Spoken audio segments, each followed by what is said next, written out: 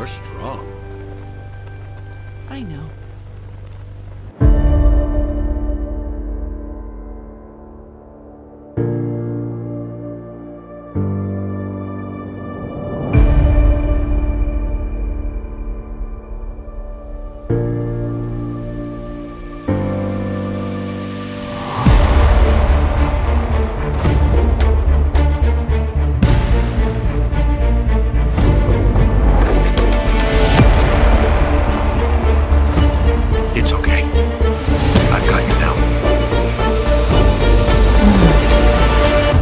Just like in the movies. Welcome to Super Wonder Legacy, the only show that knows that Lois Lane is Lois Lame. I'm Jared. I'm here with Britt. What's up, Britt? Hello, hello. So I I love it, uh, introducing all my shows like that. It's awesome. So today we are doing a, a bit of another thought experiment that we did. So in a past episode, we did one. Let's fix the new f- f- 52. Because as much of a fan of the, the initiative as we are, we'll admit there were mistakes with that. So that got me thinking. How would we, if we were brought into DC now, as it stands, how would we fix the company? And obviously, that involves building towards Super Wonder, but uh, we wanted to sort of do a little thought experiment on that so we can get started with this lovely image by Jen Bartel. I, I I love this art so much, and there were people on Twitter that tried to claim that that was platonic. I'm like, I'm sorry, that ain't platonic. No way. I mean, it, even with the just the isolated um image itself, and when she first posted it, people thought that it was a commission. Like a fan, of course, wanted a um romantic image. But then when she came out and said, "No, this is like f- for a comic," it was like, "Oh my God, what is this about?" You know, you had people thinking that it's going to be an Elseworlds. You had people thinking that um, DC is going to bring them back in some type of way, whether it's a uh, a new Superman and Wonder Woman book, or they were going to have them in continuity back together somehow. And honestly, if that would have happened, let the heads roll, Oh, because yes, I, I still think I'm gonna manifest this on the show. I think that's gonna happen soon. Honestly, like with what's going on with DC, they don't have room to limit the the creativity. I mean, they already are limiting Well, yeah, it's DC, so what you Yeah. expect? but the create creativity of like the stories that can be told, and Mhm. especially with Superman and Wonder Woman being honestly, you don't even have to have the romance right away. The thing that makes people love their relationship is because first and foremost they are friends Mhm. and that tension between them that you know will they won't they are they aren't they you know that really draws us in um Exactly, and that was the that was my issue with it in the new 52 is that it just happened and I'm like you could if they had released like comics that take place during those 5 years from origin to uh the, he- the to the villain's journey then I would have gotten that and I would have been like okay cool they're putting together we're seeing them work together we're seeing them fall in love. But then it's like okay so we don't see any of that so it's literally like they meet we don't see the five years and then th- they're together and i'm like something's something's not here Right. Honestly, I think that that is the main thing is that they could have, um, like started the Superman and Wonder Woman book with Soule, especially with him, because he knows how to write them. Um, he could have did the flashback of whatever happened between, you know, those five years. Yeah, we can get the gist of it, but it's still the fact of it, it's not all there. in my own head canon what clark would do because he's clark he brings her coffee on her monitor duty all the time and he like what, what i can imagine clark doing is is particularly when he realizes he really likes diana he would show up a- a- and keep her company on monitor duty even though he's done just because he's he wants to be near her Yeah, something like that. That that would have been so cute, first of all, that this Mhm. just and them just hanging out or whatever. Yeah, definitely, or even sparring. You know, Oh yeah, um, because Charles, that that one issue that uh, where he gives her the Mjolnir, that shows what what's like when they're sparring. yeah, Charles, he he really set that up too because um, what is that when she says, "I'm the woman to teach you," Mhm. and it's like, yeah, that's what we want to see. We Can want I see that them. actually? I would I would have lo- lo- loved to see her teaching him to to, to uh, have a sword, and, and then she's like she's swinging it, and then Clark is, is really like Cajun. She goes, Clark, you know I wouldn't stab you, right? And she goes, Yeah, but it's a magic blade. I can't take any chances. Right, that is something that we just it was there, it just missed it, especially Mhm. with editorial um prematurely uh taking Charles off the book and then the fact of how to well, he who shall not be named how he just totally 180 360 or whatever the book into something that not even the fans liked. And and the contradictory double standard that he had well of superman and wonder woman was in this honeymoon phase. They were in this um he i think he called it rainbows and sunshine and rainbows or, or sun or rainbows and picnics and it's kind of like well she almost killed him when he was Doomsday. How is that rainbows and picnics? Right, and they are those type of characters where they are sunshine and rainbows, but at the same time they do deal with like hardcore stuff. And mm-hmm. that is what Charles pretty much baselined it. It wasn't so much as them in a honeymoon phase.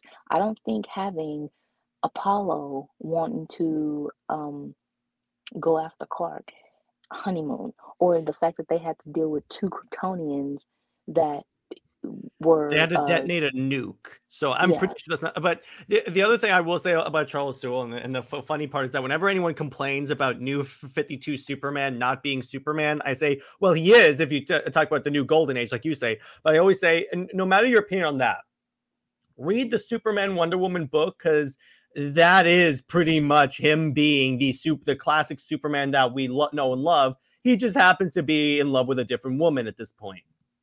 Yeah, and I, I really don't know don't understand that because just because they're with a, a person, as long as it doesn't take away their character. And what they say is that Superman and Wonder Woman, they think of themselves as gods. There's it's two gods together. Since when?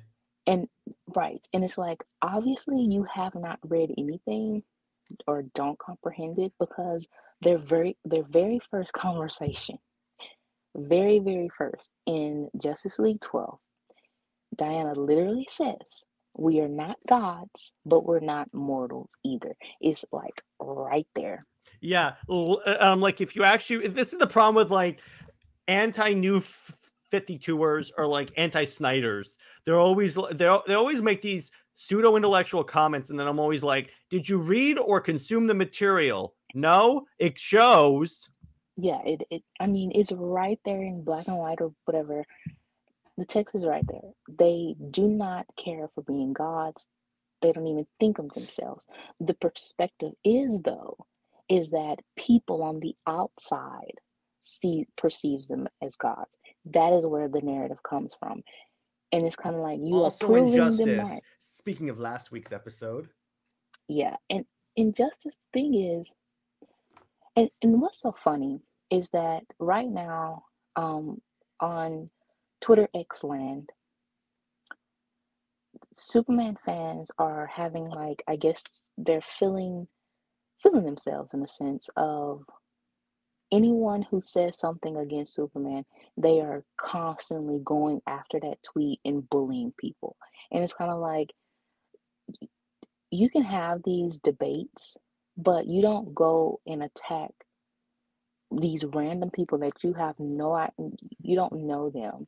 And uh, c- cut to me making anti-Lois Lane tweets. honestly, I mean, you are a comic fan. So you you pretty much have that right to express your opinions. I've always Anybody said, based on what I have read, I don't like the character. Uh, it's just based on I uh, and I read. I haven't read everything. I know there are some books that portray Lois Lane pretty decent. It's just based upon what I've read and what DC is doing with her now. I, I just don't like the character, and that's it. exactly. And that's what I mean is that you you actually read the con uh all the content. So it's that that didn't resonate with you. So Mhm. you have an opinion on the content. But what they go after is the general audience people Mhm. that don't consume certain things and they have that outlook on these characters is because what they do see, it doesn't resonate with them. Well, So again, you you know, it's kind of funny. All, all the, the general audience people in, in my vicinity that I've talked about, they're like, oh, okay, I can see Superman with Wonder Woman. yeah, Funny how that even works. right. e- Even with the Instagram. Instagram is a visual uh, platform. Thank you. And with Instagram, you all, all you're doing, yeah, you post a caption, you might post, um, but it's pictures. And that visual resonates with people. It's eye catching. And all the fan art, all the um, comic panels, or anything like that. Mhm.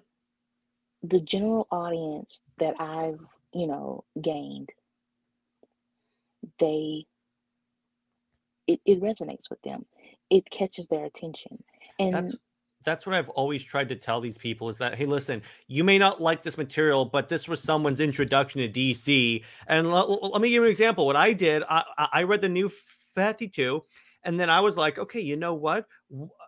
Let me read more about these characters. So I went back and I read Post Crisis, a little bit Silver Age, but I read modern stuff. I read uh, that was my vehicle because that broke the characters down to a point where I was like, okay, now I get why these characters are so cool and why people love them. So let me go read more of them.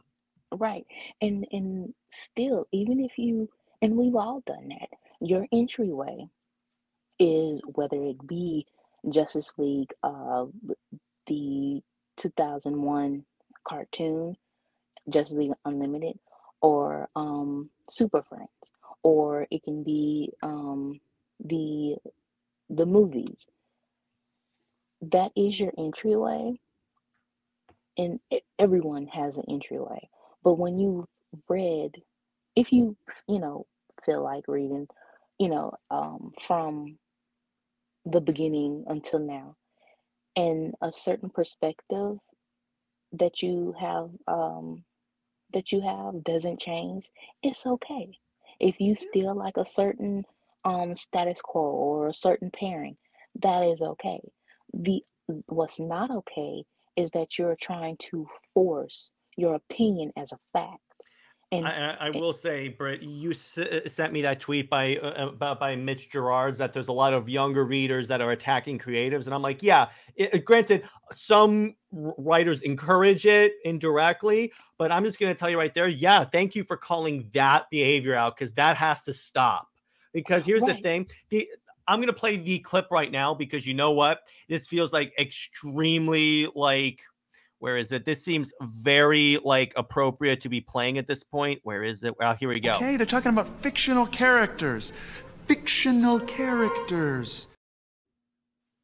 Yeah, they're not exactly. people. Yeah, th- th- but the thing is, when he says this, for so long, this attitude has been enabled by creators, though, Yeah, exactly. As I said before. with how they dealt with rebirth, the transition from New 52, you know, to rebirth, how you have Dan Jargens, um, Jurgens, you have Tomasi Gleason, Rucka, you have them straight say that this is a Superman that you should love, and in story, saying that New 52 Superman was a fake, that he wasn't. Um, or like he, when Wonder Woman goes to Lois with her and Superman. This feels true. yeah, Ugh. or or the whole um that he, yeah, that he wasn't Superman, that he wasn't the real one, or um, I think it was Gary uh Frank Mhm. that said, yeah, the the real Superman is back. I mean, the coward Superman. But by the way, Britt, all those rebirth Superman issues I got, they were in the dollar bins. Worst dollars I've ever spent. wow, They were in the yes, yeah. A lot of you know, it's kind of funny. A lot of that stuff is not like immortalized or anything. It ends up in dollar bins a lot. yeah, because it didn't what they wanted was the old fans that that do complain on Twitter. And but those fans just want what they want. They True. and and and even Williamson, the current Superman writer, he he said that, you know, we give the fans what they want, the happy stuff, the with um More like optimistic. yeah, and um even trying to be with the romance of Lois and Clark and stuff like that. He said that people aren't buying it. They aren't supporting. They would rather It's the same thing with the movies because people complained about Snyder's movies being too dark. The minute they went into a very overly like comedic way, guess what happened? No one showed up. yeah. Um you have he said that um yeah, people want to buy the controversy. They want to basically hate buy. And yeah, controversy does get attention, but it's a gamble too because just like with John uh John Kent, Tom Taylor, he admitted that that was very rushed because of DC wanting the PR. Um, it was a PR stunt, and yeah, that issue, certain issue, did go up, mm-hmm. but then it dropped like a brick, like a ton ton of bricks right back down. Well, yeah, the very w- next issue. Because like we had the speculators, of course, John comes out as buying this issue. Of course, they're going to pick that up because they, they think that John Kent's going to be a valuable character le- later on, and then And the thing is, what they did though is that they weren't being honest. They said Superman was bisexual. Yeah, I know. I saw that. That's why. And, and I tell you, that's why they did it when when John was the current Earth Superman, because they're like, okay, so now we can have this headline. Let's do it. Yeah. So when you know that everyone knows Superman is Clark Kent, you know, so with you basically manipulating the audience like that, of course it's not gonna uh go right. And and then you that John didn't have anything else. He doesn't have anything else for himself the fact of his sexuality. That's it. Um I mean, look at how he's drawn now. It just it, doesn't work. But anyway, so uh, going to here and, and talk about where things stand. So the thing, so you have Joshua Williamson, like we said before. He's a pretty good writer, and I've enjoyed his Superman run for the most part. Then you have uh, F- uh, Phillip Kennedy Johnson, which short of that War World suit fiasco, I have Right. enjoyed. Ex- I have very much enjoyed his War World. Sa- I still have to have to get get and read the War World Saga trade. I will, but I've loved his Action Comics run. I love his Green Lantern um, War Journal. He he did a lot with like John Stewart and really fleshing out that character in Dawn of DC. So I really appreciate it. And Tom King, um, I'm indifferent about Tom King's Wonder Woman so far. There's some things I like, but there's also some things I really don't like. Yeah, okay. So with Williamson, I think he's he's basically going on the ni- late 90s, early 2000s. That is pretty much the era that he's pulling from for his Superman, Mhm. which is, I mean, I guess it's fine, but not really if Mhm. he's complaining about, you know, um, sales. Um, uh, Phillip, yes, he is very, very good with Superman, with uh the saga Mhm. and the idea behind it was basically going back to the champion of the oppressed Yep. um and the Moses allegory. It's like in the in his War World in the first trade of the War World saga that I have, when Superman finds out about like everything going down, e- e- even when the Justice League says, "Hey, listen, dude, if you just wait, we'll we'll go with you until this crisis like uh boils down." And Superman goes, "No, these people are suffering. I have to go now." And the thing is, what would have been cool, but would have been a great crossover with Wonder Woman because But here's the thing: that's Hippolyta Wonder Woman, though. And the thing is, even with Hippolyta, that really didn't make sense for her to Mm. say, wait, she would never do anything like that. So I get the and and that's the thing too that gets me is that they have to do a lot of contrived type plotting with the characters because you know that that certain character will not just sit and wait, but you have to turn off half your brain and hmm ignore that character to to just go with the story. And especially when he wanted the authority there too. So it's hmm like, yeah, we understand that, but obviously, if you want this to work, just use the characters that you know instead of trying to, you know, make them what they're not, to use, you know, different characters. Exactly. And the thing is, by the way, so Jay Heat and I do our n- New Direction universe every Sunday, and one of our ideas, I'm gonna tease it. It's a Super Wonder honeymoon on War World. Wow. Yes. Yeah, it was my idea because I'm like, okay, so Wonder Woman's a warrior. And of course, you would be like, hey, Clark, let's go to War World. He's like, we'll go where? Yeah, that's Yeah.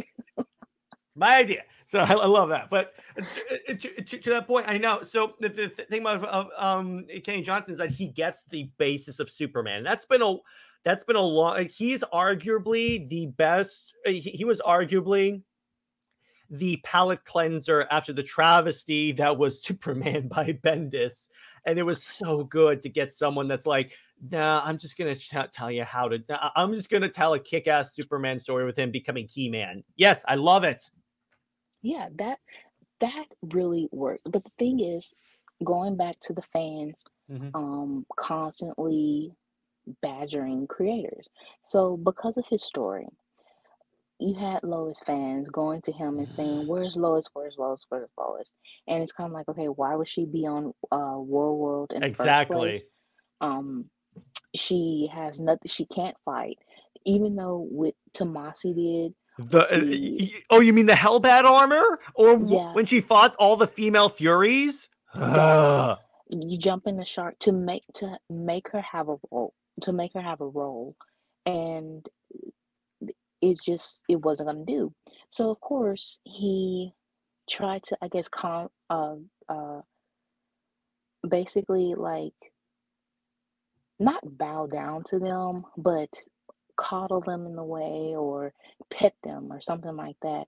Mhm. And he, I believe he said that he fought for the ending of um the saga of them, you know, being together or whatever. So editorial, I guess, didn't want it and he wanted it, you know, that whole thing. And it's kind of like, well, if editorial is so stuck on trying to um keep this marriage, you know, because really it it serves no purpose, just like the Kents being alive.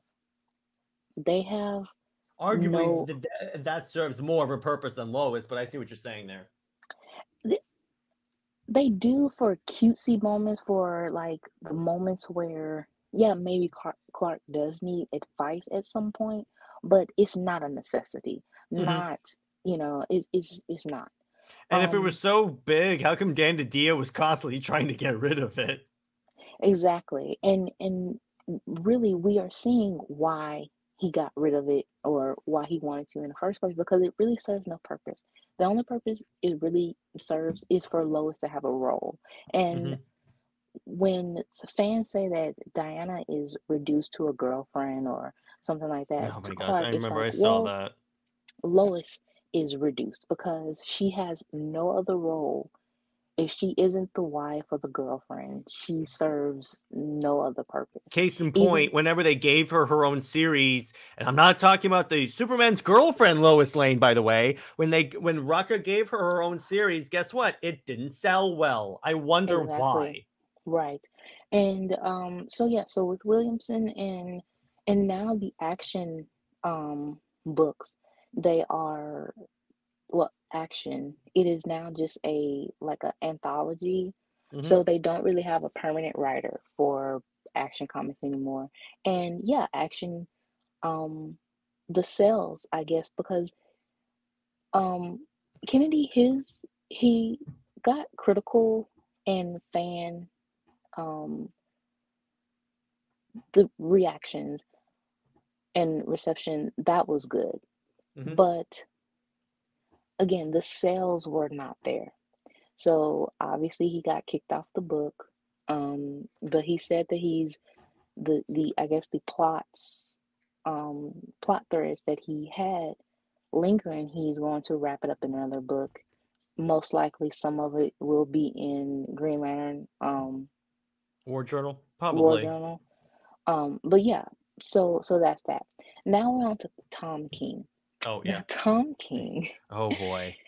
um, I would say that he can do miniseries, he can do one shots, Mhm. but ongoings he cannot do. Because after all, by the way, Wonder Woman is his first time in continuity doing a regular run since Batman. Right. And and he was fired from Batman, or so they say, because of the debacle of the failed um marriage or hmm you know of Batcat, which is pretty much uh Dan DiDio fault and editorial not wanting Batman to be committed because of course Batman they think that you know marriage and stuff they don't want batman to be like superman where Mhm. he is shackled to limitations of a marriage. Hmm so and and even with now in the batman books you have batman i think solo um in a little you know out of his mind but in the detective comics you have selina and talia sort of working together and you have For talia Batman, yeah, exactly. yeah. And you have Talia calling him beloved. You know, she can steal a kiss, you know, here and there. And Bat and Catwoman clearly still loves Bruce. And they are, it's basically like, in a weird way, it's an open relationship or like, in a sense of like polygamy in a way. Well, the way I understand it is is Batman and Catwoman basically came to an agreement that we don't need to get married in order to understand that we still have feelings for each other or something like that. Yeah. Yeah, so so that gave a doorway to where you can have Talia um as another option as a love interest. And there's really no issue with that at all. So, but with Tom King, it, it feels like it's a story that he wants to tell, but he has to change the characters' personalities to fit the story instead of the story fitting the character. Hence Heroes in Crisis. Yeah.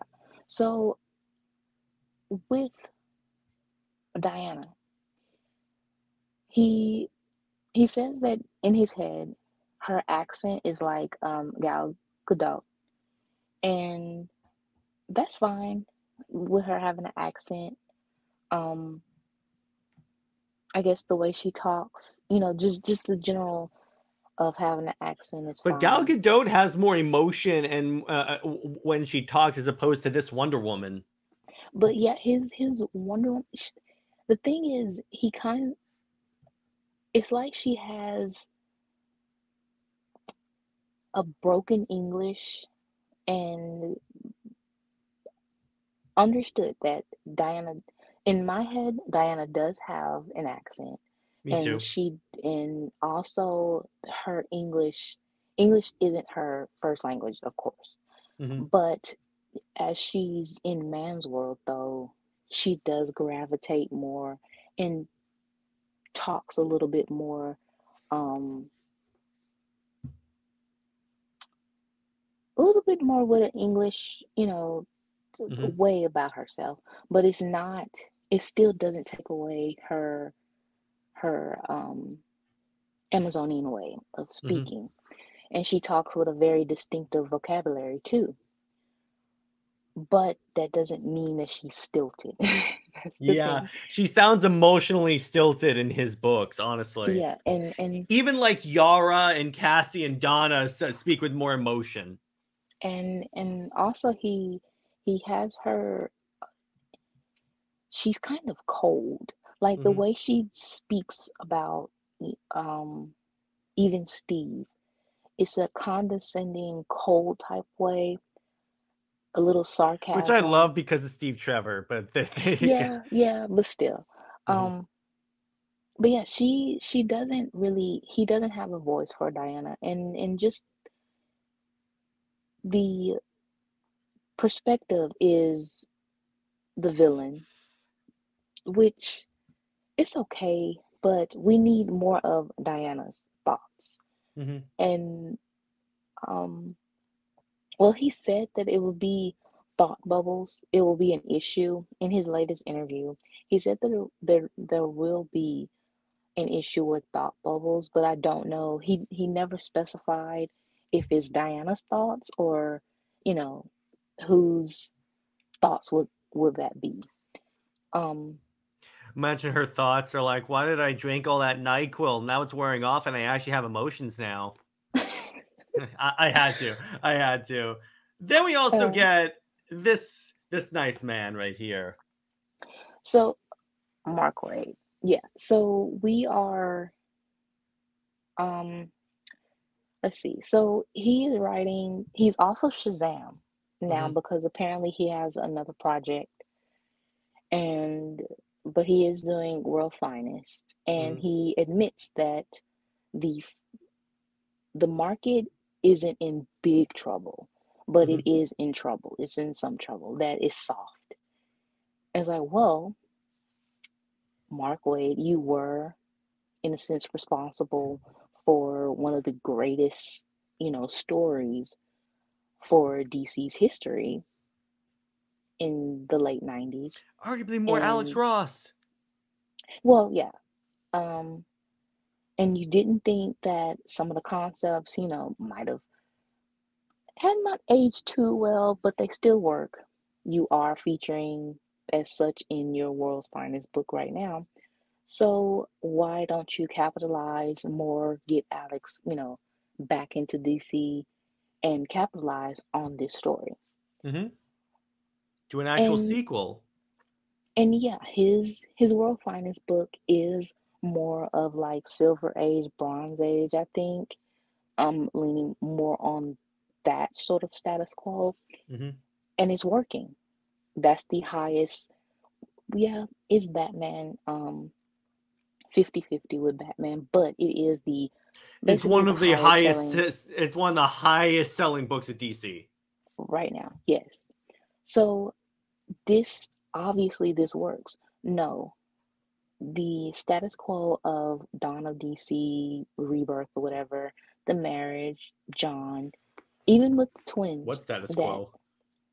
all right, um, even with the twins that Kennedy introduced, they really first the thing with what DC is doing with these legacy characters or these kids It's not is working. it's not working, but it's also part of the self-insertion of the of the writer if he Yeah. has if yeah if he And the, the other thing is the, the reason why they did the twins thing for Superman is because they wanted to DH John. Well, they wanted to try and appease the, the crowd that the wants them crowd to yeah DH John, but exactly they don't realize that's not working.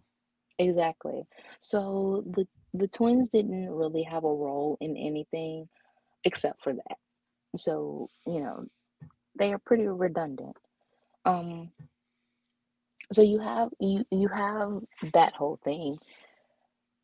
And honestly i think that um Waid he wants to expand his world's finest I guess universe or whatever. Hmm why not do that? Why not have the world's finest silver age bronze age you know set of books and have these different lines set in even different eras where people can pick what they want. You see what era works better, or even just the book itself. Just have a line where it can be in any era. You already have the whole everything is canon, you know, everything is everything. hmm So just do that. Ev- everything is everything. That's your line.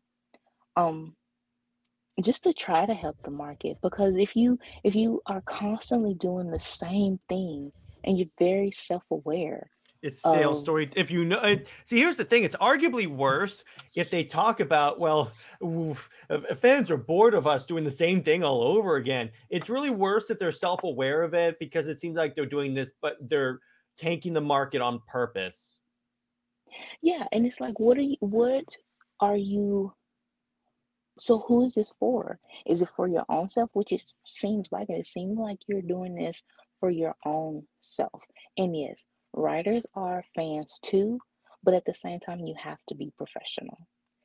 And Yes, they aren't. it's like, well, yeah, they're very, uh, yeah, the very fact that like Tomasi blasts people for being Superman and Wonder Woman fans, I'm like, nah, sorry, but it's like even King, he, uh, according to this, he said, yeah, the market's not good. He's optimistic it'll get better. I agree with him that it can get better. The the way you get better, it's not an, an, an, an, um necessarily bringing Super Wonder. The only reason why we're using that as an example is because that's something that has a sustainable fan base that shows up for stuff. I mean, the the numbers on this show itself compared to my other stuff shows that. But the other thing is, it, you have to stop catering to Twitter and move beyond a little bit beyond nostalgia because because that's showing you that th- that it's not working. Yeah, we're not saying that Superman and Wonder Woman being together is like the end all be all answer to every problem. We're not saying that. What we're saying is basically like anything can help somehow. If you have a concept that has a sustainable fan base, like you just said, use it. You know, you got to use it because your sales are not working right now.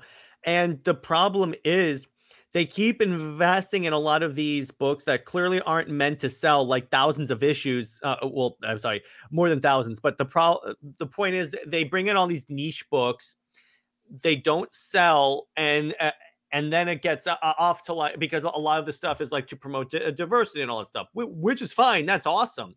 It's just you can't prioritize this in an industry that is arguably shrinking. Yeah, there there really isn't any room for those kind of books.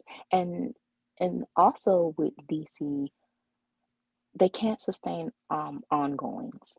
Every book that they launch has to be a six issue mini, and then if it has enough sales, then they'll extend it to an ongoing. Yeah. Or no, first it'll it'll do the six issues, then the 12, then the ongoing, which Mhm. is kind it's really sad that these books you have to do it in phases Mhm. or steps. I And know. it's like it if you know that you have if you already know once you launch this book that it's a 50-50 chance that this book can only last six issues. And it's kind of like, well, we're not putting the investment in there. Why even try to publish it in the first place? Mhm. What you need to invest in is concepts that actually do work. John, he's not working. Go ahead and just like put him somewhere in a pocket universe or Put him with the Legion. Tha- That's it. Just leave him there. even even the Legion. Um, Mark Waid, he said that Legion, the franchise, is not sustainable. So they constantly want these uh concepts that aren't working. Even Tom's King Trinity Lizzie, Oh, that ain't gonna last long. his Gen S. First of Oh all, my you don't have a good you don't have a good name. As soon as that name group. came out, I can show you my reaction to it right now. Uh, here, here's my reaction to it. I am not impressed. Yeah, Gen S is Generation Hope. And first, it Mhm. has nothing to do with the Trinity. Um, It's like saying hello, fellow kids. ye- definitely. You have um, Trinity kind of being condescending to say that uh, Clark, Diana, and Bruce were privileged. They were not privileged. Oh Bruce, God! he, When they talked about the pa- privilege, I was like, oh boy, here comes the social justice stuff. Yeah, Bruce lost his parents, you know, right in front of Mhm. him. Clark lost his whole planet and had to be shipped off to another planet. When he grew up as Um, a farmer. yeah, he and he grew up hiding himself. Um, Trinity being adopted, her with Diana, with her own mother, Emily. Um, if that is the way the story is going to go, which it seems like it, she was a product of seem like assault. hmm So, um, and then Diana, she is a product of a love affair, of hmm cheating, if you go with the Zeus origin. And even with Diana going with the Clay origin, Diana was still lonely as a child if she's the only um, child on the island. So, no, it, it's not privileged in that way at all. They have had to work for being the heroes that they were. And what John, Damian, and Trinity, they're the ones that are privileged. They're the ones that are nepotism babies, basically. hmm Um, John, he Gen- has, they should be Gen N, Generation Nepotism. yes, because That's what I, I am coining that name. you can't go ahead. because John, he, again, he's just a carbon copy of Clark. The only thing is his sexuality. Damian, Damian had a little bit more story because he's going back and forth with um the Al Ghul's. So he had a little bit more depth. And I wouldn't say he is so much as privileged because of the trauma that he went through um with the back and forth. Now Trinity, I honestly the way she's brought in and the way it it just seemed like with you trying to write her as an adult now or you know a young adult you can't really invest in her character because you see her as this the first um backup is her six years old but she's not but she's with damian and john they're babysitting you don't see her with the wonder girls you don't see her with diana you don't see even within the the um the story Well, diana Britt, is here's not in why. She was created just because Superman and Batman have kids. Yeah, and and the fact that it was actually uh Mitch, his Mhm. idea was for um John and Damian to babysit Mr. Miracle and um Big Barda's son. So Mhm. yeah, I get that, but if you are going to revamp the story, at least make it make sense for the character. Diana is not in that space of being a mother. She's not, there's no lead to that. New 52 with Clark, that made sense if they were to have a child or something because that Plus- was brought up. Yeah, I was uh, uh, about to say they actually brought that up in the thing where she's like, "I never thought about having kids until I met Clark and founded the Justice League and all that stuff." Right. Um, even post crisis, Diana, she always dreaming of having a baby, of course, with Clark. But when she was ready to, I think it was um Tom Treasure when she just like wanted Mm. to have a baby, but I it, remember it was really yeah, but it was really no love in it. She just wanted a baby. So yeah, if you had that kind of story, I can see that. But with this Diana during Rebirth, first the way Rucka put her in a psych ward, um, Mhm. and had her whole life as this lie. Then you had Even though that doesn't work because Superman has been to Themyscira in the New Fifty Two. yeah, um, you have just this whole. I guess also Tom King. He said that Diana right now is in her mid thirties, which and she's only been in man's world for like 10 years. I'm like, no, that does not make sense at all. Especially with, I know that John was aged up, but still, the way that DC's timeline or non DC doesn't have a timeline, Britt. Let, let's face it. um, it still just wouldn't make sense if you want to say that first. I guess her whole um, she's been in man's world since uh, World War II. That's out. But even with saying that she's only been in man's world for 10 years, that no, that does not make sense. With um, Donna's age, Cassie, um, not so much as Yara, but uh, Clark, just however old he's supposed to be, which I think that Jurgens was trying to make him like they're in this stagnant of being only 38 years old. Mhm. so I'm like, that definitely doesn't work with John. Even if he were to have him, um, that means that what he would have had him like at 28, Mhm. which but I I believe the timeline of Death of Superman, he was like 32. Mm-hmm. So yeah, that none of this timeline, non-existent one makes sense. So yeah, Diana has been in man's world for more than 10 years. Way more And- than 10 years. It, that's the problem with like not establishing a firm timeline because then you have all these slipshod writers going back and forth in the timeline and it doesn't make sense. And that, that works if you're talking about an Elseworld story, but you're writing in the continuity. Right. So just just the whole thing of trying to force this idea of Diana becoming a mother, adopted or not, it, it just wouldn't work with her character right now. Um, because she's not in a she can be a single mother. I mean, hey. Um, Or Clark can get away from Lois. just yeah, that that can work too.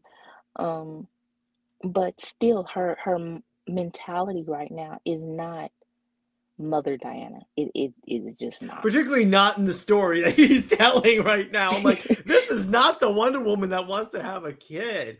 And Not according to. DC, Steve Trevor's by, so that's not going to happen. I mean, he or he's with, well, I think that Tom King, he wants to try to, in a sense, put them back together, but I don't know if editorial, I don't think so because there's a reason why they broke up. I think it's because they don't sell anymore. It's, it's like that's my favorite thing because someone put on the comments of a video, Steve Trevor and and Wonder Woman are a classic couple. I'm like, if they're a classic couple, how come that they haven't been together for like two two to three years right now? yeah, the, the whole classic thing, and th- I just don't believe that. I don't believe in that at all. The um, I mean, here's the thing. iconic. It, by that logic, Bat Batwoman should be straight because she was created as a character to dispel rumors that Batman was gay. By That by, by that rumor, by, by that logic, but we all know she's a better character than that.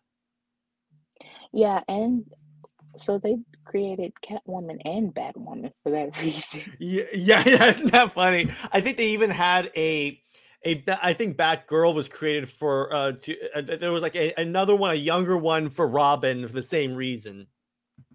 Well, Barbara was created as a love interest for Bruce. And then Bruce Timm ran with that, which would work if he should, if Barbara were not significantly younger. I think that that's the thing is that a lot, and and that's also a thing is that a lot of the anime, um, animated, uh, cartoon fans, they don't go back to read the source material. hmm So yeah, when you change up the source material in the animated um, shows or movies, sometimes it makes sense. Sometimes it, it may make the source material better, s- and sometimes it just screws it all up. It really So- screws it up. So with Bruce Timm screwing it up of having Barbara um Dick's age, it it really did not make sense. But it makes sense because of how she was created.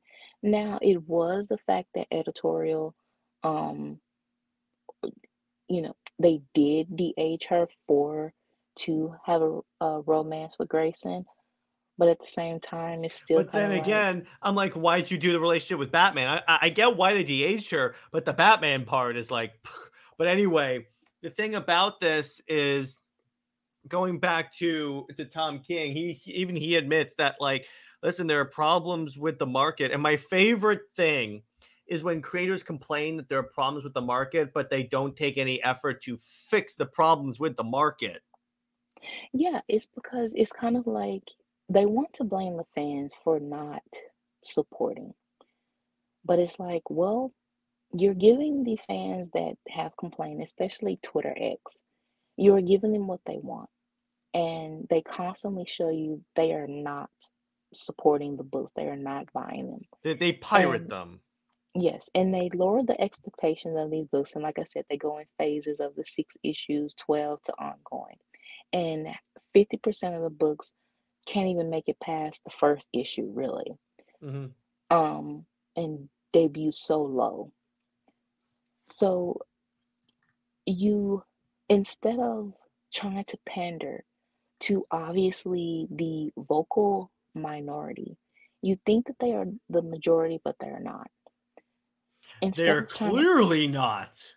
yeah, instead of trying to pander to them, just, you know, bite the bullet in a sense and whatever the controversial type concept that will make the money and that is creatively that will you know create a challenge take the risk. And that's what did uh, DiDio was doing with new 52 and he was proud of it at the end. Even though he screwed it up himself he still said that he was proud of it because they did take the risk and it was worth it.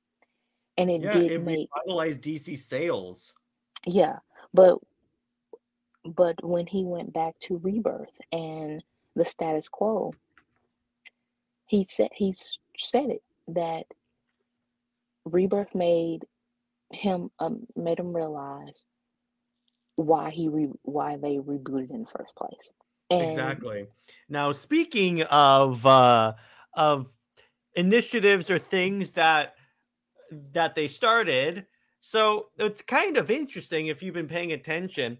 There have been a lot of crumbs about Super Wonder of late in comics. So let's go through those, shall we? okay So, so we've got and so a lot of this is going to be from the Conrad uh, uh, Wonder Woman run, which there are some things to like about it. There are certainly some things to hate about it, but they definitely had Superman in in a lot of these issues. yeah okay so with um i think the first one was when diana came back from um asgard and i think that was issue 780 hmm i want to say but they hug. Oh and it was um he said that he didn't want to believe it and hug it was very much a platonic you know i miss my friend type hug. That was really cute. Hmm then you have um i believe this one is from 788 where the theme that you notice within other panels that uh, you will be showing is the word always. Hmm and it's that was pointed out is that they're It's saying even that I, it's even bolded yeah. So the quote is um all i'm saying is you can always call on me. You know if anything uh, is wrong or something like that. And diana says she knows that she can Yeah. um with the conrad and Cloonan run i think it was conrad that wrote clark and diana's um interactions and i believe he said that his inspiration was um new frontier Ah, I definitely see that there. Yeah, I like that. yeah so i mean even even with that new frontier they were basically best friends with benefits because diana obviously with calling him my Kal she she basically you know took ownership ship of him um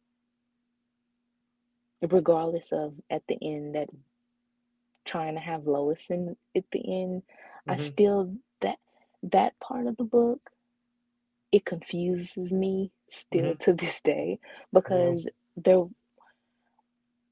there was never any build up to him being with Lois. So it's kind of like why at It's the like, end? well, never build up with him and Lois. If only we had two animated universes where they did that. Oh wait, we do. Yeah, awful. But it's uh, so th- then we get get with this because it's kind of funny. Is I hear so much about how the Conrad run sucked. Then I see stuff like this, and you're like, you know what? I really like. But well, actually, well, one more thing. There was another Justice League story. I am pulling it up called "The Last Ride," where as soon as uh, Wonder Woman and Super, because the, the premise of this story is that Justice League has disbanded and they're get, getting back together for a job and they meet up at the at the watchtower and of course when superman sees wonder woman they're all very happy and stuff and then he, he gives her another hug like that Yeah, that was a. The thing is, it it feels like writers have to kind of like make a stance that this is adjacent to mm-hmm. continuity, and so they have to set the that Clark is with Lois at some point. Mm-hmm. So when you have those moments of Clark and Diana's interactions and them hugging or or anything like that, it's kind of like they have to give you a reminder that no, he's married, but it's like, do we care? Wuss. No. we do not definitely oh well trust me I, I, I could care I couldn't care less about lois lane Right. So so yeah, that um you also had Wonder Woman uh Black and Gold, but those Yes. were um out of continuity. So I mean, you can really get away with those. But yeah, anything with um and Wonder Woman Evolution, mm-hmm. um Stephanie I Fella? forgot her. Yeah, Stephanie Phillips. She wrote that, and even there, she did mention Lois, but it was a it, was a small mention to know. Okay, so this could be in continuity, but um, throughout the whole story, it was basically Clark being Diana's conscience, Mhm. and when she was taken in that story. I honestly I don't understand that story a lot. Um, but Diana is transported somewhere and her and Clark was having a race. He's he gets called on a mission and she somehow gets transported somewhere and the first thing she does is call for him. Mhm. And while she's going through this or whatever, um, there's an issue where she has to fight the Justice League and she tells him, um, she says, the one person that I could trust, you are. You you are supposed to be that one person. And um they start fighting. The fight kind of ends abruptly from the next issue and um in her conscience or whatever, whoever this is, pretending to be Hippolyta, she says basically like you let the Kryptonian or you let the alien weaken you. So it kind of say it's kind of saying that basically Diana's, you know, her vulnerability is with Clark. Mhm. Um, then the end of the um, story is she is unconscious and she wakes up in the fortress of solitude with Clark. They the Justice League has found her and um but she has nano uh like little nano things in her blood system yeah and uh he says that they'll they he will run some tests and he will help her get them out and stuff like that and it ends there and they hug and he says that um she gives him hope so Yes. yeah it it was a very even with this. moment. And by the way, with this one, we could probably use this, something like this for a project we're working on. Cough, cough. But I, I like when uh, she when she says again, emphasis on always, like you're saying earlier. I'll always come when you call. Is this when he came home from War World? Yeah, yeah. Yeah. Ah, okay. So, you know, that really coincides together because Clark says, you know, I'll always be there when you call. It, you know, Right there. and then here is Diana saying, I'll be there, you know, I'll always answer your calls. So that was a very nice little, you know, back and forth thing. I don't know if that was, which might have to ask Conrad if that was a coincidence or something, or was that intentional? Conrad, if somehow you're watching this, please come on our show. And also Charles Soule. But anyway, so c- continuing on, but th- then we have this other moment that I really dig. It's it's from Wonder Woman 793 when Super when Wonder Woman goes, "I knew you'd come back. You always do." And Superman again says, "Always, I'm always going to be here for you." I mean, this random. eh, Okay, so this is part of the uh, welcome back of um Clark. It was a a really so they have a tie-in of Kal-El's return, Mhm. and at first I was a little peeved at first because I was thinking that they was purposely ignoring Diana because they Mhm. had a Batman um little special, then they had uh I think another special with other random characters. And it's kind of like, where's Diana's reaction? So I Mhm. guess maybe at the last minute they added for for her reaction or whatever to be in her own book, which is nice. Um, so yeah, within this first within the first part of this uh issue, it seemed a little flirtatious because they're talking about um haikus and being poetic about looking at uh Earth um from the watchtower. And Diana says, Did you do that on purpose? And she it looked like she twirling her hair and he and he he says something and she says, you know, you're a farm boy, but you you know about science and stuff like that. And he's basically trying to belittle himself, but she knows better. Then there's a um another scene there like I guess in the vents of the watchtower Mhm. and um Bruce says something sarcastic to Clark about getting his cake dirty or something. And so Diana says, No, Clark knows a thing or two about getting his hands dirty. or something like that. How much want to bet Bru- Bru- Bruce is like, get a room, you two. right. So then you have this scene of, you know, of, of Clark saying, um, it's a Trinity hug, but uh, Clark is saying that they don't say it as much, but they love each other. They love her. And he's speaking for Bruce too, but it still, you know, doesn't really seem like that. But okay, we can go with that. Bruce is the way he's written, he is written a little bit more um I wouldn't say softer, but but just a little bit more friendly, which is okay, but sometimes some writers can go a little bit overboard where it doesn't seem like the character hmm because yeah, even though Clark and Diana are his um they're his friends, he still has this guard though. He's not too laid back with them. So um so yeah, but this was still nice. And then you have this scene where Bruce is looking for um J'onn J'onzz Oreo, like stashed Oreos. And so this random panel right here of Diana saying, Yeah, you I knew you would come back and Clark's just randomly saying, I'll always be here for you. And then how much you want to bet again? But Bruce is like, uh, uh, um, I, I, I'm trying to find Oreos. I don't want to be here while you two are practically making out with your eyes.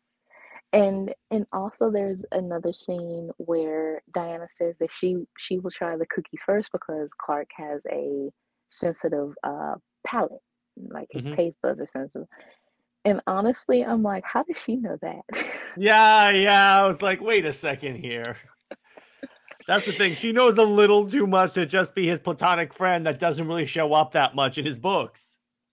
And the thing, the reason why that Diana doesn't show up in there was rewind um back there was a tweet and it's uh asked who are um who is Superman's best friend. Mhm. And a lot of people ignore Diana purposely because, first of all, she's a woman Mhm. and they want to not acknowledge her because of Lois, of course. It's always because of Lois. And we're trying to say that Lois is his best friend because she's the wife. And no, because Lois doesn't know Clark or Kal or Superman, all three basically. She doesn't really know him to be a best friend. She has Mhm. never been, uh, you know, in that type of, they've never had that sort of um exploration as best friends or as friends really it's just you know rivals to getting married and Mhm. you know. So to they're not really even friends. If they weren't married they wouldn't be friends. And and it's been established that Clark doesn't really he isn't exactly open to Lois like that you know and um and he holds a lot in a lot uh, he holds a lot in. And um yeah it is not a, a friendship there so to say that your wife is supposed to be your best friend or your husband is supposed to be your best friend yes that is true but that is not I'm not seeing that here.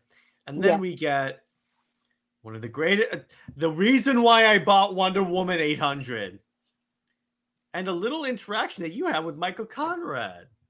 yeah so this right here was quite a, quite a surprise because when Bartel first um posted that again was thinking that it was just a fan um a commission or something like that then she said no it's for a um it's for a book.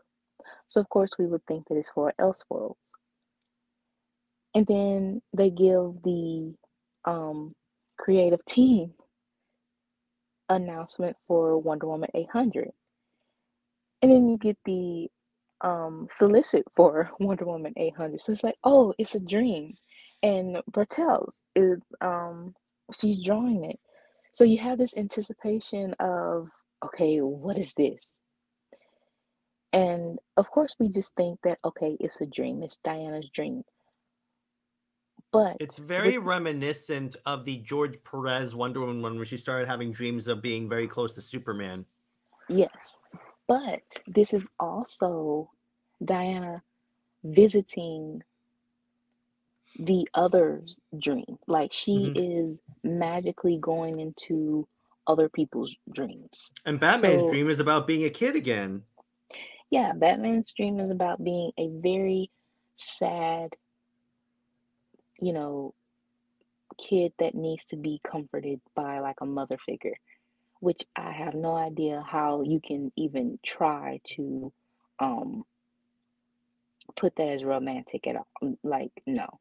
hmm Um Steve's was being in uh, a battle a war of uh, um, of uh, World War Two. Uh, Siegfried was I don't know where he was. It was it was very much a lot of snow or something. hmm Um, Etta's hers uh, was basically like the golden age era, and I think it was one Donna. You had the Wonder Girls, Donna and Cassie. Cassie, hers was um, Young Justice. The old, I think it was the '90s um, comic of Young Justice. Hers was that. They actually was supposed to have a cheetah one, hmm but it seemed like Batman might have taken the place of Cheetah. Oh boy. Yeah, He because Bat Bruce gets the hand me downs. because it was an extra page. It, it just seemed like it didn't fit. Even if it was supposed to be a Batman dream, it just I don't know. It just seemed like it wasn't supposed to fit there. Um, and then you had Donna, which establishes them as uh, sisters.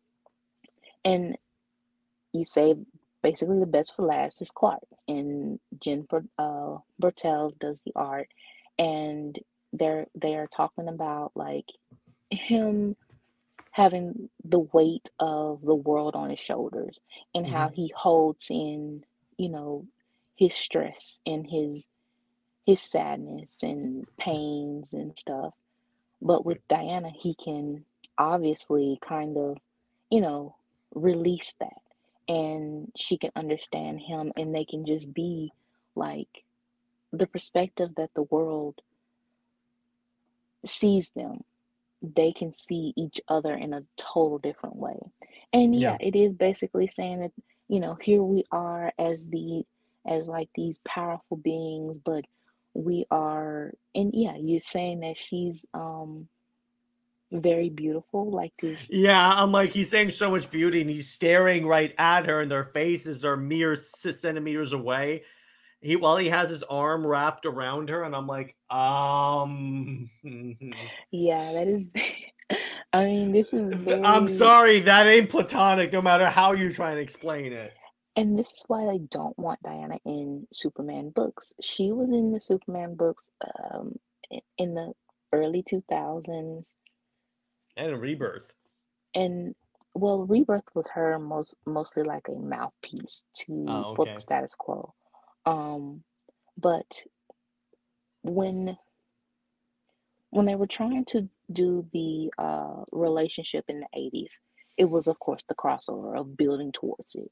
Then Byrne messed it up with the whole um with action 600 so their relationship kind of kind of depleted in a way. Mhm. um, and then you have the 90s where they're building to Clark, you know, marrying Lois. So, of course, you can't have Diana around with trying to force that relationship. And then you had writers who basically was for the marriage and wanting to try to keep the, the relationship going. So, if Diana was in the book, she was used as a mouthpiece. Or you had like Rucka, um, trying to, you know, basically say that they're just friends, that there's nothing, you know, um, between them, or completely ignore that they are. I mean, you can at least try to make them friends, even though, yeah, it's natural to write them with that tension. Or but uh, it's also DC markets them as best friends. That's the thing too. DC markets them as best friends. Yeah, in in the Wonder Woman book, she Clark, um, during the our our worlds at war, um, Yes. he says that she is my best friend, and that was pointed out on the Twitter, um, that their friendship is mostly explored within Wonder Woman's books because it's free. She she is free to do that. Mhm. But on again, the Superman side is because he is limited with Lois. You can't have any other female character um basically that feels that she can overshadow Lois. Mhm. You can see right now with the books, even during Rebirth, um, where's Cat Grant? You know, she's she's nowhere. Um, Elena, even though she's with Steel, she's still She was in Steelworks. Yeah, but she didn't really interact with Clark. You know, like the old childhood A little friend. bit near the end of it, but I see what you're saying there. Yeah. Um, any other female character, you can really see that no other female character is within the Superman book. I think Mercy is, but she's uh Lex's assistant or whatever. So there there's really no type of romantic anything with her in the first place. So But- yeah, you can have her.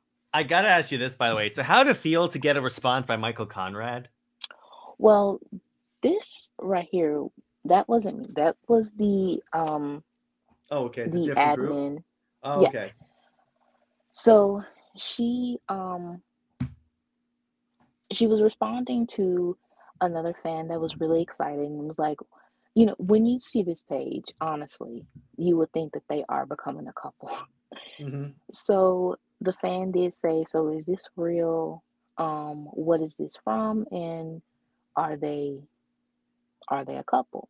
So the answer was, you know, at least to her, which we basically all had that same type of um thought was that is it was basically like what we know Clark and Diana's relationship is is best friends with benefits, best friends with that underlying tension, or you know, j- just that.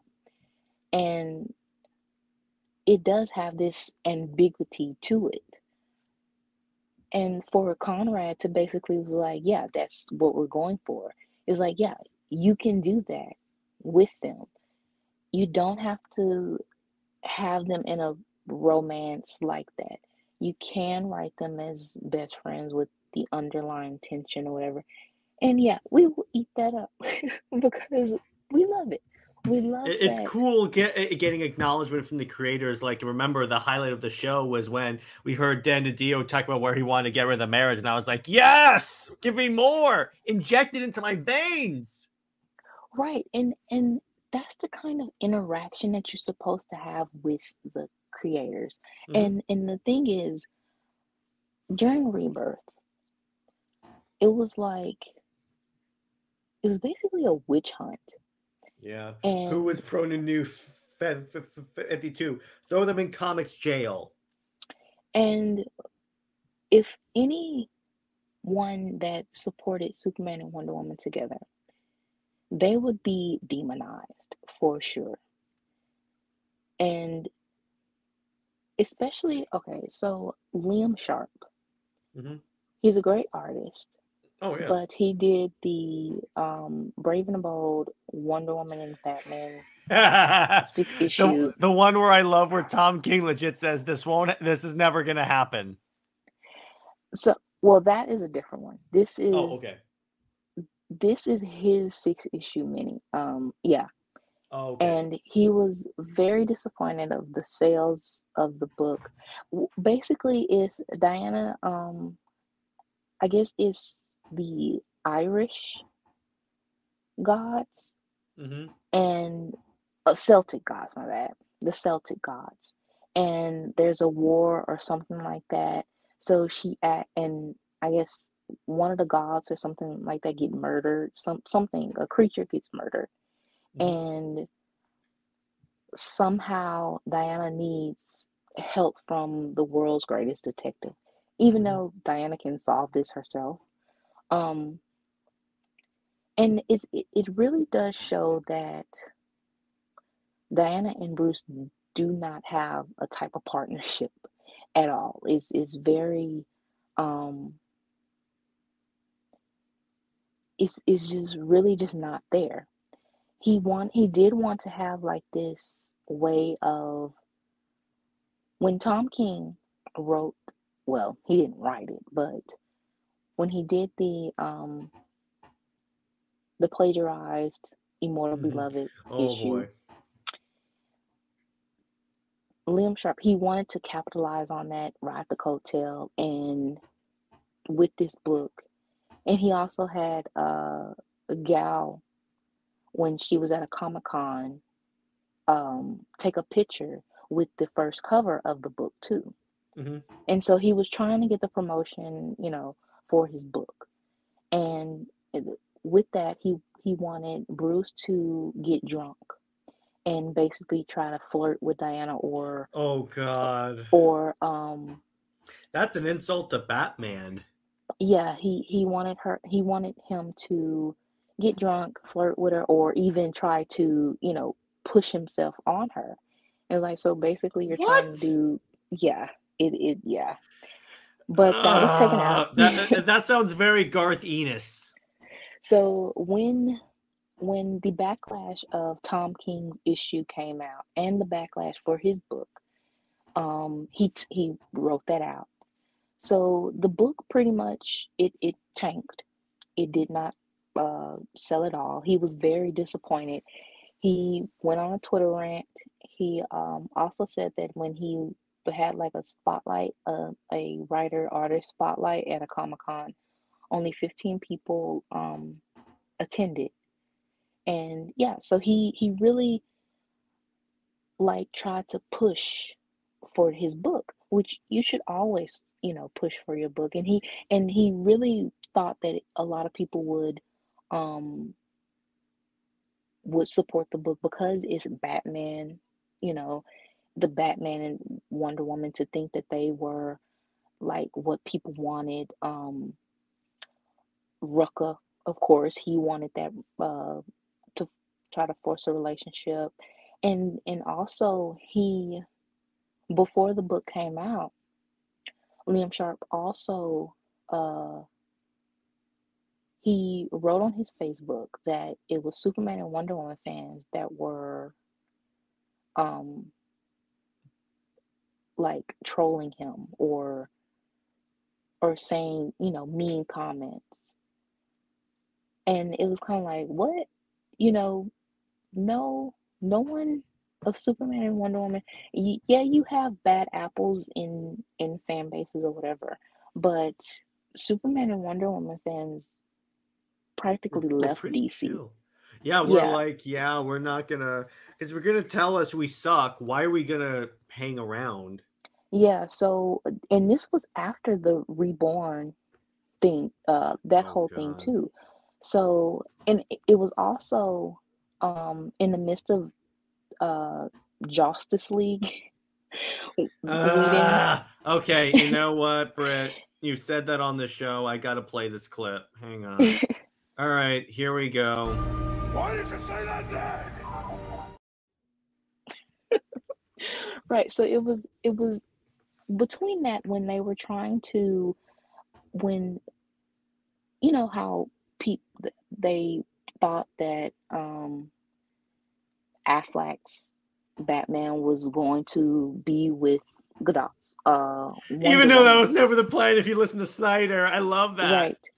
So they were trying to kind of like ride this this whatever idea that never came into fruition or whatever, and yeah, so it it failed or whatever, and um, it it was just the fact that Liam lied on a fandom.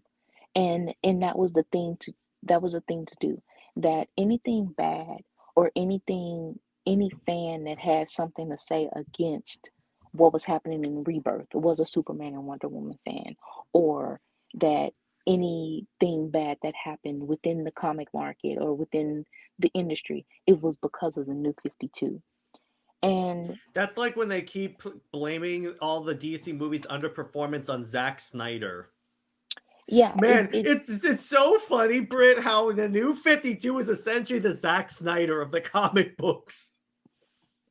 Yeah, it, it I mean it's it's really ironic because the Snyderverse in a sense it started in uh 2013. Um New 52 was um 2011. So yeah, it it coincides. It just astounds me all the similarities because the exact same stuff that was done with with the Snyderverse almost is done with the New Fifty Two. no wonder I love the initiative so much. yeah, and, and and it's the fact that it took both concepts, initiatives took risk, and it tried to put a little realism in you know, in both the movies and the comics. But mm-hmm. the main factor of why the initiatives didn't last as long as they should have, or, you know, it's it's this whole thing that it was a screw up or whatever, is because of editorial or the higher ups of WB. It wasn't the creatives it was or or it was the fact of the nostalgia you know those people who are stuck on that that ruined the concepts new 52 they had the whole plan it, it modernized the the um characters. Batman didn't really need modern uh need to be modernized because he was he was the cash cow, been the cash cow. Green Lantern didn't need it either because he was uh pretty much number two for DC. Um Flash was was heading up there as third best selling I, I believe best selling character. And then Superman was dropping.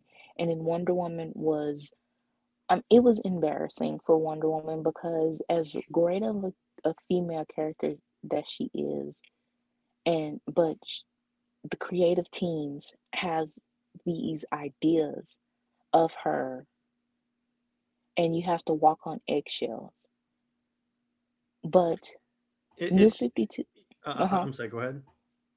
what I was saying was New 52 with her origin. I'm 50-50 on it. I I see the creative like what we're doing. I see, you know, the potential of how that can uh the potential to give stories, to give drama, especially with her. Yeah, not only is it that um the god she's already connected to the gods even if they gift her as the clay origin. But it's even more so something when she's like the prodigal daughter of the king of the gods and you Plus, have it kind of links her more into Greek myth because you have like heroes like Perseus and Achilles, and it, it, it all these like d- demigod like beings. So it's kind of consistent with that. And now it- that's what I think Azzarello was really going for. Is he's trying to go for that more Clash of the Titans like feel. right so you so you have that and and it and it works um it really does work for Diana. I I love the God mode. I love the drama that comes about, you know, like I said, her being like the prodigal daughter and like the perfect daughter. Um and to to basically shake Olympus. And, I, I just I love that. I love that run so much. And the thing is like even the run that came after Azzarello with the, the the Finches, that was really good because that was actually where they wrote in that that Diana wants kids with Clark. It was in that run, and I also have that signed. So so um I, I, I met uh, D- David Finch at a con two years ago, and even I asked him, "Wonder Bat or Super Wonder?" He said Super Wonder. I, I didn't go Super Wonder versus Lois because I figured he would probably go Lois, but I was like, okay, you know what? Let me get a thing on that. He's like, yeah, I gotta go Superman and Wonder Woman. And I'm like, I knew there was a reason why I love you. because I mean, with going with the history of the characters, and we um hit this too of the Trinity concept. And really, DC is so hell bent on trying to make the Trinity concept as something solid when it's not. Like we said, Diana, she she can't be in the Superman books because of Lois and in in the fear of her um being outshined. And and that goes back with the best friend thing. Diana Diana's best friend is Clark. Clark he feels that Diana is his best friend, but that that's only shown in her book. With Clark's book, of course, Batman can be in the book because it's basically bros. It's a bro club. And, you know, and that whole thing. I would love if, if Batman shows up in the Fortress of Solitude Suman's like, what's up, bro? the, the Justice League turns into a frat club. I mean, that's basically what it is. It's kind of what it is when, if you ask Hal Jordan and Guy Gardner. So there you go. Yeah. And um and then you have Jimmy. I mean, honestly, Jimmy is Clark isn't even honest with Jimmy, so I don't know how you can say he's the best friend when he doesn't even know his secret identity. So, you know, that's that. But um but yeah, and and Diana, she never was in a Batman book either. Like they've never had any like interactions that solidify them as friends or anything like that. So so the Trinity concept is very superficial. It's um As we said o- in a previous episode. yeah, the only connection really is that Clark is the connection. He's the bridge they try to put Diana as the bridge, but she's not. It's Clark because Clark is bros with um Bruce and he has his work wife, best friend, you know. It's like, hey Bruce, this is my very complicated because of editorial uh friend named Diana. Exactly, exactly. I would love if that's the intro. If DC got really Deadpool with it and became super like self-aware, they were like, hey, this is my I can't define a relationship because if I do, the people on Twitter will, will have a conniption friend. I mean, look what they did with Crisis. Look what they did with the 40 seconds of Crisis. And I'm like, it, you can't though... even talk. Uh, you can't. By the way, another person, I was on a stream yesterday, as a matter of fact. Another person was talking to me about Crisis. He goes, Oh my gosh, I love that. And I'm like, Oh my gosh, these are the people DC needs to be listening to. Yeah, because I mean, the thing is, Twitter X as well first in general, Twitter X uh stock or whatever has gone down what did they say like 63%? So, mm-hmm. you know, yeah, the, the platform is basically dead.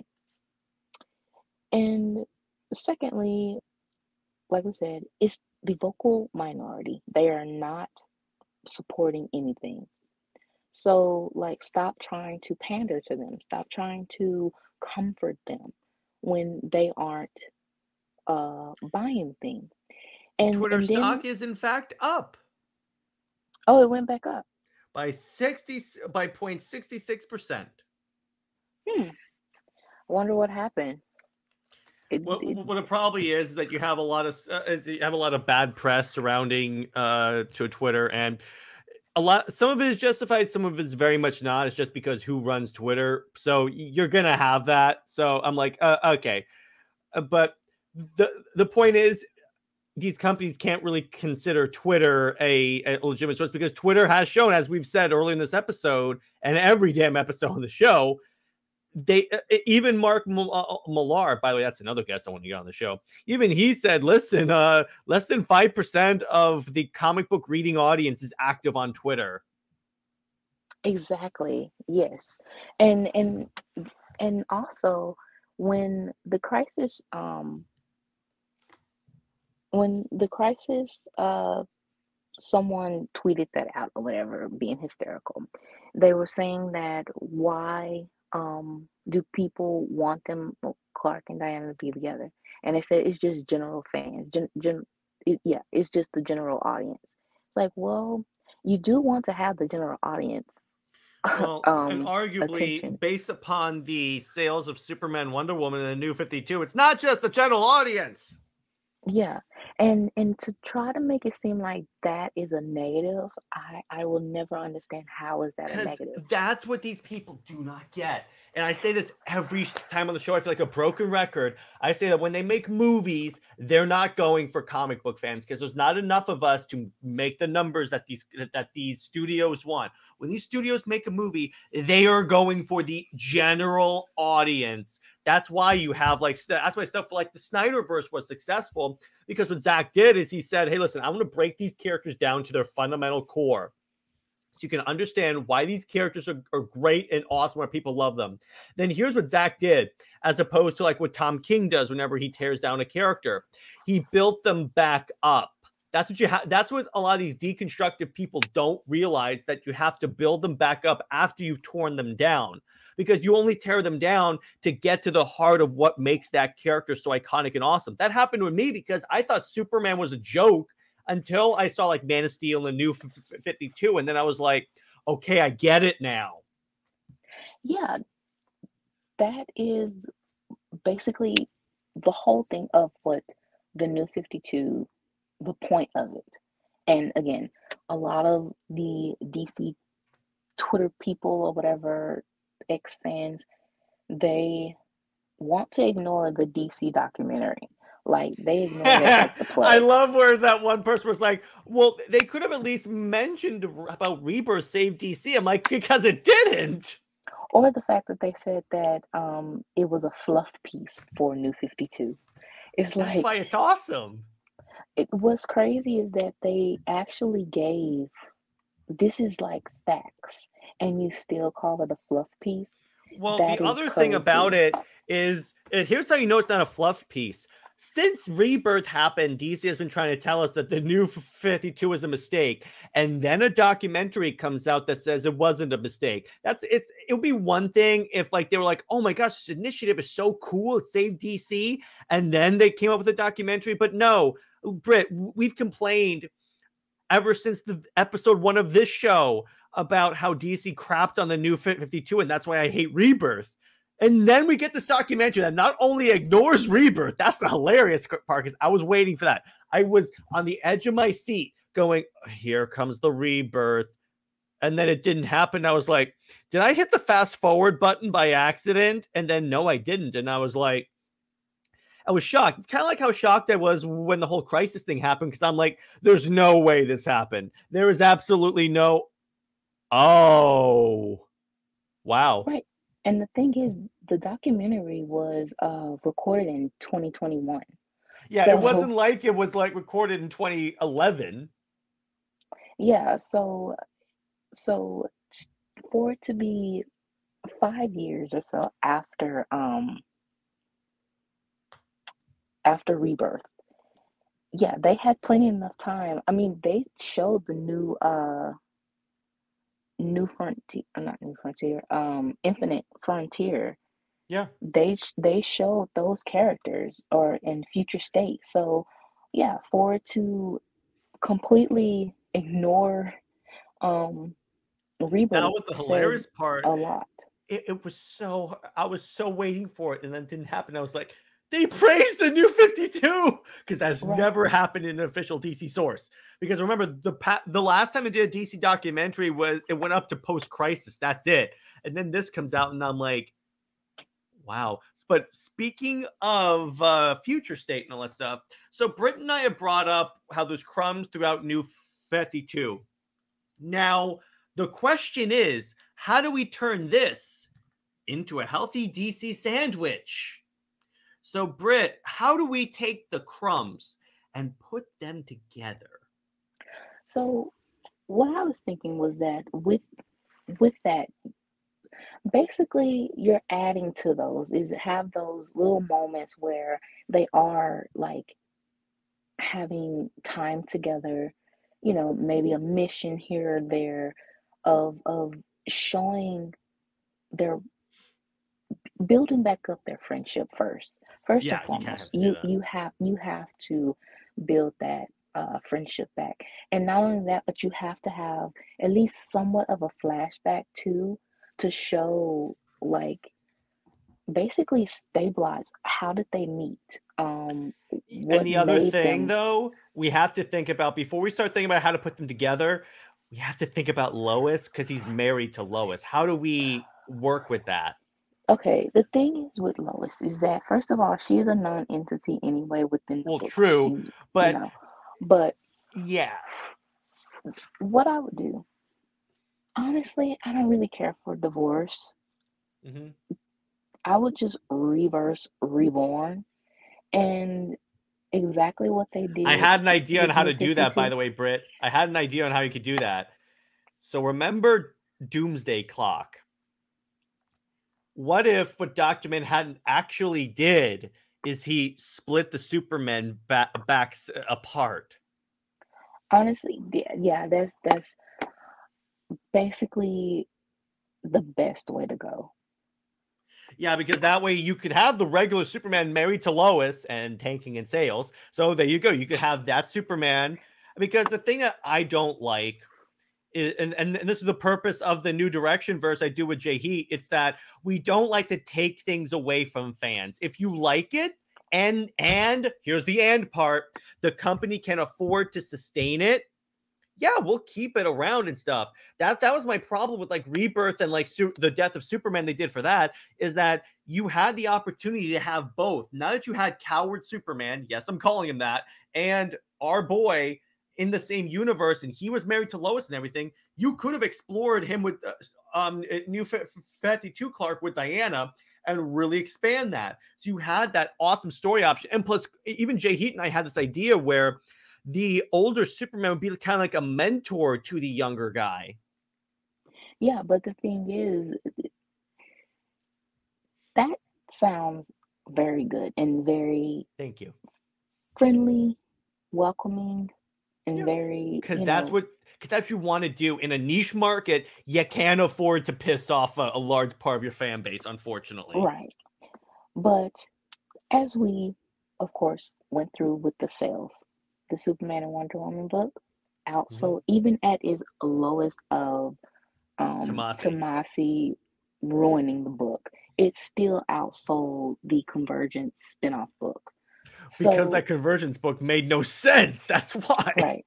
So but even at the debut of it, if this was like what DC called their most anticipated book, they, I mean, they went full full force of calling them the um the original power couple, call it um saying that this is the most anticipated book. Can I call that that comic book appropriation? Am I allowed to use that term? Uh, I mean, at this point, yeah, I think so.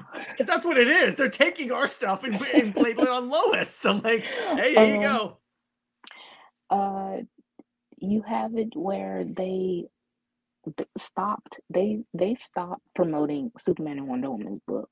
Like it was just so abrupt and they were and even if they were um promoting it, it was the oh no doom and gloom um they're about to break up. hmm So yeah, they they were and and what Jurgen said, he was saying that while Superman and Wonder Woman was breaking up, while they was promoting it like that, he said that Lois and Clark was unbreakable. So yeah, it was purposely Clearly, they to weren't because he sold more without Lois. yeah, I mean they were very much purposely trying to dog out, you know, New 52 and Superman and Wonder Woman's relationship. I mean, even Jurgens boasted about saying that, oh yeah, me and Rucka has talked about it. This we had a specific conver- conversation about it and how we will handle it. And it's like, oh yeah, like no regard. And even with um again, I don't want to put words in no one's mouth, and I never saw him say it, but it's the fact that other fans has said that he said that. But to say that Superman and Wonder Woman is just like fanboy porn or something like that, which is really, mm. really weird to, Which, based upon what people say about about about Superman and Lois, I think you have that backwards, bro. yeah, I mean, like the conversation that we saw earlier today of saying that um, the reason why some uh, people want Superman with Wonder Woman is because she's hotter. Like, well, yeah, that's true. Oh yeah, that's true. that's kind of her thing. She's as beautiful as Aphrodite. Aphrodite. That's true, but it's so much more than that. And to say that Lois and Clark, um, Lois and Steve is like a fa- like they are the fantasy of regular people of Yeah, they're like, oh. I could date these people. That that immediately showed me that's what it's about. It's not about the story. They even told you it's not about really the story. It's more like it's my own fantasy. And I'm like, Yeah, uh, thank you for admitting that. Yeah, they are living vicariously through these characters, and they get mad when they can't when they can't do that. So what? So Clark and Diana's relationship basically represents, yeah, you normal people, average people, can't. Even though Clark and Diana aren't shallow like that, it's true that in in in the perspective of them though, Clark and Diana, their relationship isn't upon looks though. No, Their it's not. relationship is on connection and understanding and being truthful and honest with someone, to be open Mhm. and and to be able to be vulnerable with.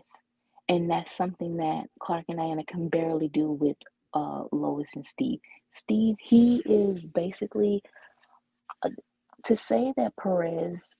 I see a lot of people complaining that Perez made a mistake with it. No, he did not, because Steve, he's the first guy that Diana meets, like a Disney princess or whatever, and they don't really have anything to connect them. except for her saving him from, you know, the plane crash or drowning, whatever. Um, that's it. But he can be the first man she meets and learning from him as in like he's he's a nice person sometimes. Um as an older man and as a brother, an older brother, he can protect her. He can. In fact, um, th- th- those are some of the best parts in the Gail Simone run that I'm going through right now because I have the omnibus. Is that the, she uh, is that uh, Gail significantly plays up that whole role about she's more like a father. Uh, he's more of a father figure because he's married to Etta in the in the post crisis universe. Yeah, yeah, that and that lasted for um close to or you know 30 years Mhm. and for and for that status quo to to last for 30 years with like no type of honestly diana the only part of holding back was that she didn't have a constant romantic loving uh romantic interest which again pretty much it was clark so you know um According to Perez, it was Clark. yeah. So um the thing so, so i already agreed that so go, going back, back to this real quick. So we already agreed that we have to so to undo the we're gonna undo um Su- superman reborn because that was dumb.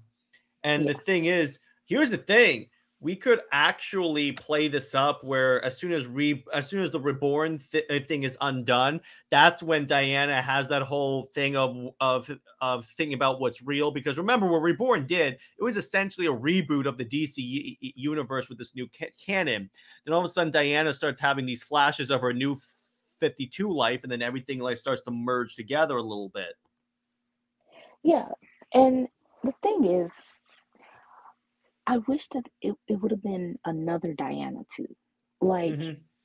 that makes more sense than trying to have this Diana, her, she's with Tom King saying that she's only been in Man's World for 10 years, but then during uh Rebirth, she was 10 years and she was only supposed to be like 28, but now she's supposed to be like in her mid 30s. Mhm. Um, and uh, honestly, Tom King has actually um gave her like 10, 10 more years because uh I think Rucka wanted her to be 28. So it's like but the thing is she was with Clark since she was 23. So she was with him for 5 years. Mhm. Um and that would make sense for them to want to get married and and have kids or you know stuff like that. But yeah that you should have had two dianas. And that's the thing with the tomorrowverse too is that it's only one diana too. They only showed one diana. Yeah exactly. They they mention tomorrowverse earth one diana but only as a mention and it was a throw a throwaway line. Mhm. but that is the problem that you run into though um with this whole thing is having just one version of of of the character and you're trying to implement different parts of their history and it doesn't fit it, it's no it's a contradiction so yeah i i would split even diana in two Mhm. That that well. works too. hon- hon- Honestly, you could do that, and then like the, although it- I could get confusing. So I vote we keep the Superman, but but, but like the, Diana part starts like fade away back to her universe. Like the universe itself starts to heal because having two of every character in in essentially the same universe would get really confusing in terms of the books. it would but honestly that it's already confusing with trying to merge all of history together Yeah, I know, and it would Mhm. yeah it, it it it would just be a little bit better if you go ahead and like s- split these characters or again just put them on on a uh, on a different um earth but with if we have to keep these one uh just one character with the uh with the Lois and Clark marriage Now, just here's a way we could get rid of the marriage and and work really well with this, and stick it to the injustice people. Lois Lane gets killed. Like, here's what you do. Here's what you do. Remember the Bendis reveal? yeah. the identity reveal, have that actually have a consequence when someone shows up at the Daily Planet and blows it up. So basically, we're doing a Kingdom Come I- I- yeah, kind of like that. Clark does not go crazy, obviously. He can Yeah. mourn 100%. And Diana can help him mourn because she is his best friend and she's always I'm putting the I'm putting the Conrad emphasis. I'm going to call it that. Always going to be there for him. So he goes through a, a journey. He, he you can even have him say I don't know if I can be Superman anymore. Just to like echo that and Diana says I want you to stop that right now. You you are Superman. You've always been Superman and you are strong enough to get through this.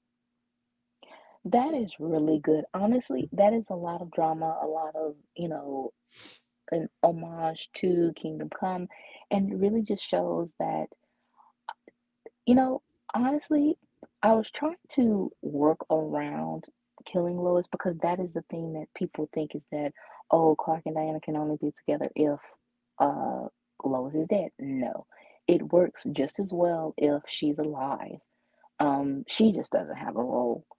But yeah, True. to make to have heads roll and to like a basically Twitter response, it baby. But yeah, and where I got that from. Is my is I, I had comic artist Joe M. Sontag on and, and I asked him about this and he said, yeah, actually what's would be kind of cool is is if they did kill Lois and then Superman has to like recover from that and then maybe he gets w- with Diana eventually. And again, we see that in Tomorrowverse, which is also Kingdom Come. But It's Yeah. pretty much that. Yeah, exactly. yeah, but to make heads roll, of course, killer, let killer, like Well, yeah, oh yeah, and, and plus you could have from Superman's side, it's like you've always been there for me throughout whenever I needed someone, particularly nowadays. You're the reason why I'm still Superman, and then you can have them eventually just get together, and you can market it as the relo- as the return of Superman, Wonder Woman, the book. yes. There. And now Jon, just put him off somewhere. Well, actually, no, no, no. He, he- here's the thing. Hear me out on this. The Jon thing, could you could actually do a, a dynamic thing here where now Jon's stepmother is Wonder Woman, and then now Wonder Woman is in charge of raising Jon. honestly, Eh? just to spite, just It could be a really cool story because now he's got to deal with having Wonder Woman as his mom. Honestly, just to spite because how they did Diana in the um, Legacy, the Justice League um, Hitch story, Yeah, how Hunter yeah. was, yeah, definitely. and you can okay. have that where uh, you can still have the whole you're not my mom and stuff dynamic that you're inevitably going to have but you could also have if you want to do like say the bi identity reveal and she is there for him and like i'm proud of you for being your true self Honestly, Diana fits more, so much better with that type of um, yeah exactly And- story. yeah e- exactly and she could be like no be true to who you are Yeah, Diana fits, even with the twins.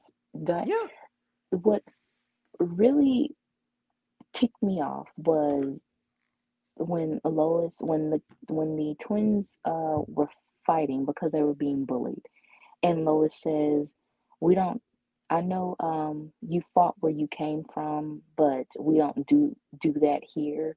That is so first off that sounds vaguely racist. I'm just going to tell you that right there. Yes it's, it it's does. very proud and they wonder why i hate lois.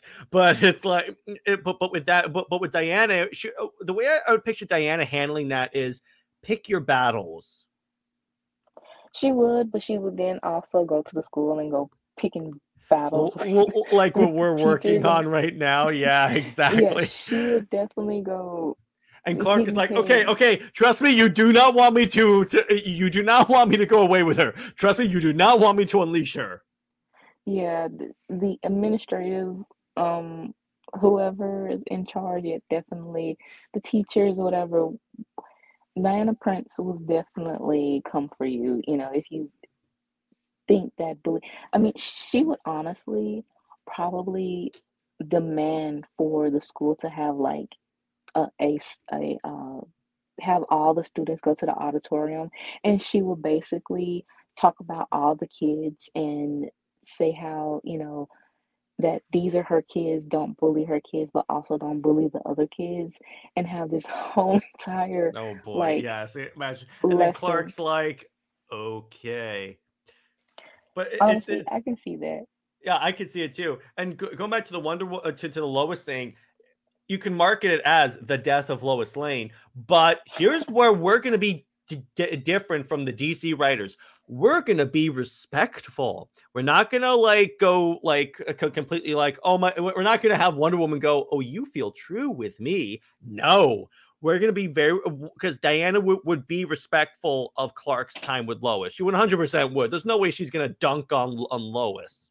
Yeah, not like how Lois dunked on Diana when um Tomasi had her saying, "Well, you could have married Wonder Woman," and Clark saying, "Well, she doesn't have a, a pulsar." And I'm It's like, like- oh, that's just so stupid. And then later on, you can market it, uh, and then uh, so uh, uh, later on, you have this, and then we, you you can make it by the way. The Jon by Danny reveal is when Jon starts to see Diana as his has his new mom. Essentially, it's like when he finally accepts her because she accepts him. See, Yeah. you can tell compelling stories this way. And you know the thing is, what is so crazy is that if they never had Jon, like just in general too, but really he's never had like an actual interaction with Diana. Like if Not really. Tom King is trying to, to retcon that uh, that he did, but I'm like, I, I haven't seen it yet.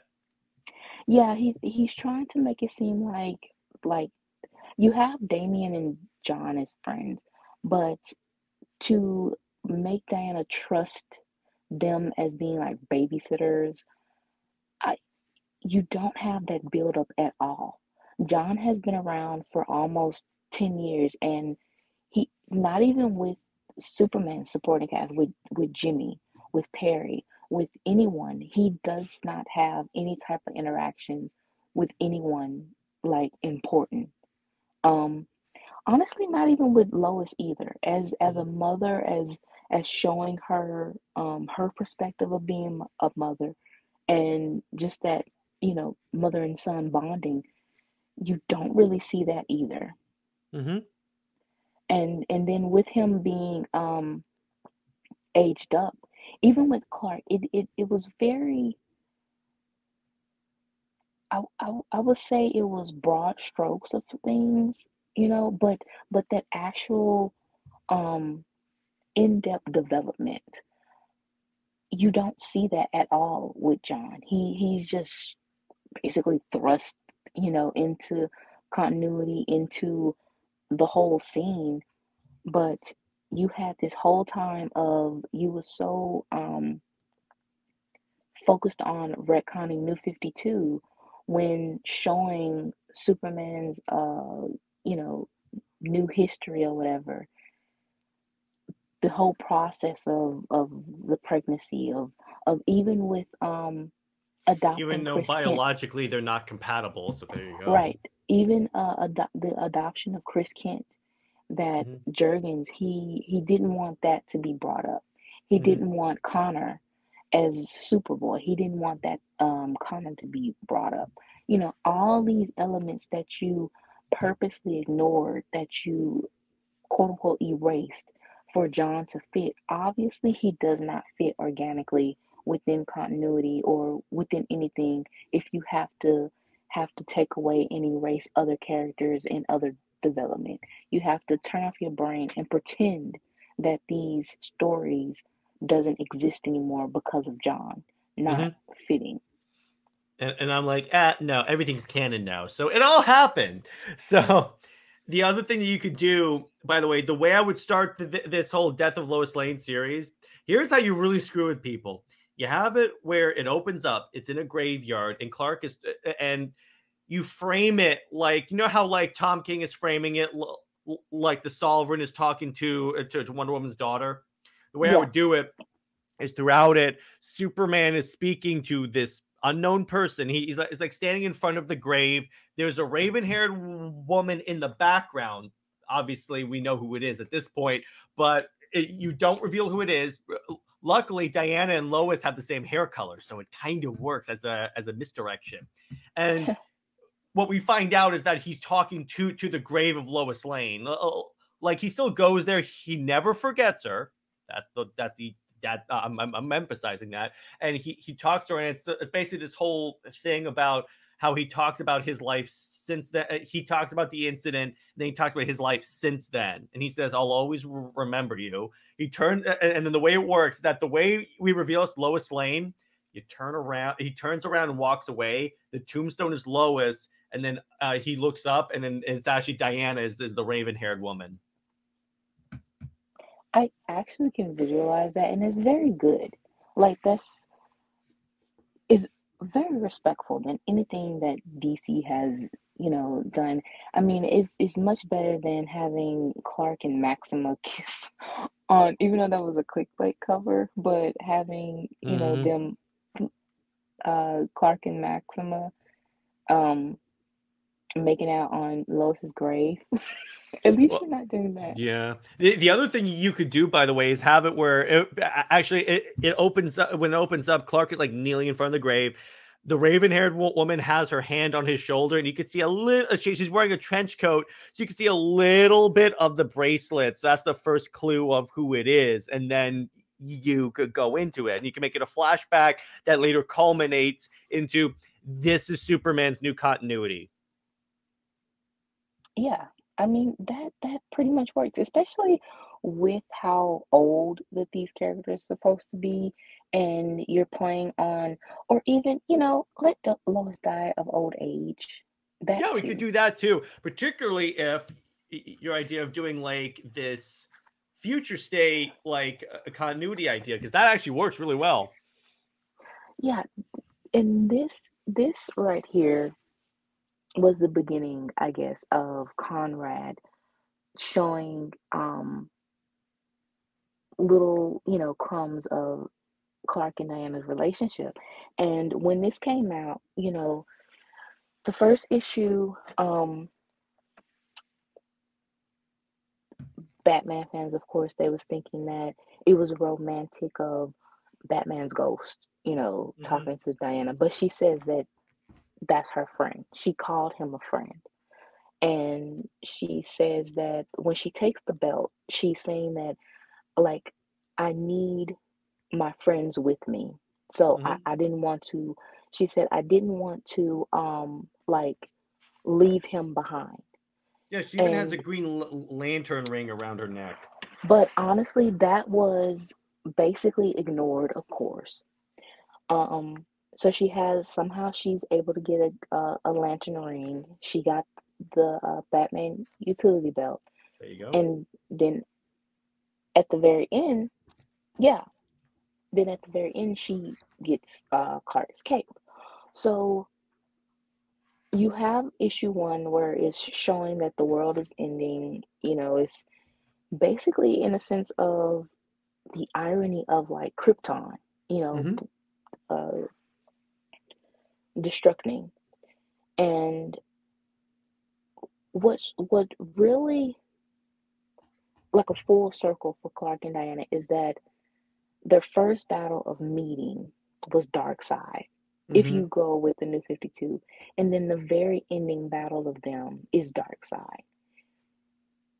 And Clark sacrificing himself, which I thought hmm was again, it was probably unintentional, of course, but as poetic and you know the the the writer in me thought that you know this is a full circle and And we could even do is you could have it where like before Earth blows up, the Greek gods come to him and say, "We would like to offer you a spot on Olympus so you don't have to die when the world explodes."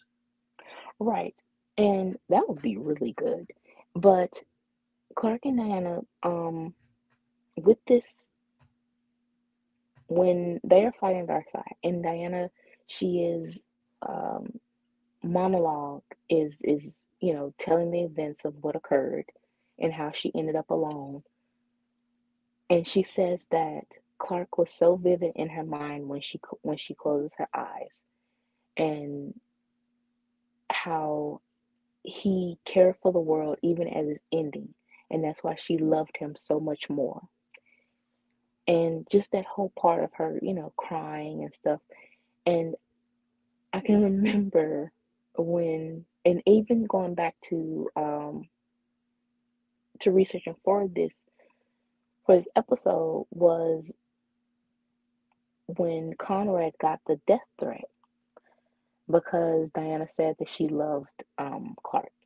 oh, good lord. and Conrad and Cloonan was saying that um, you know, no, you can say that I love you as a friend, you know, and they were really trying to put that out there as they're just friends type thing and you know, but it's like no, you know, first of all, people read uh New 52 uh, it's it's kind of a natural thing to think that anytime Clark and Diana are together sharing page time, that they are a couple, Mhm. and that is and that is also a threat feeling of Lois fans and to lesser And the Superman uh, editorial. That's why they don't put super put Wonder Woman in, in the Superman books. right, and and even sometimes Batman fans, even though they don't really care for Diana in the first place, but you know, to a lesser extent, them and um, but yeah, so with Immortal Beloved, uh, Immortal Beloved, uh, Immortal Wonder Woman,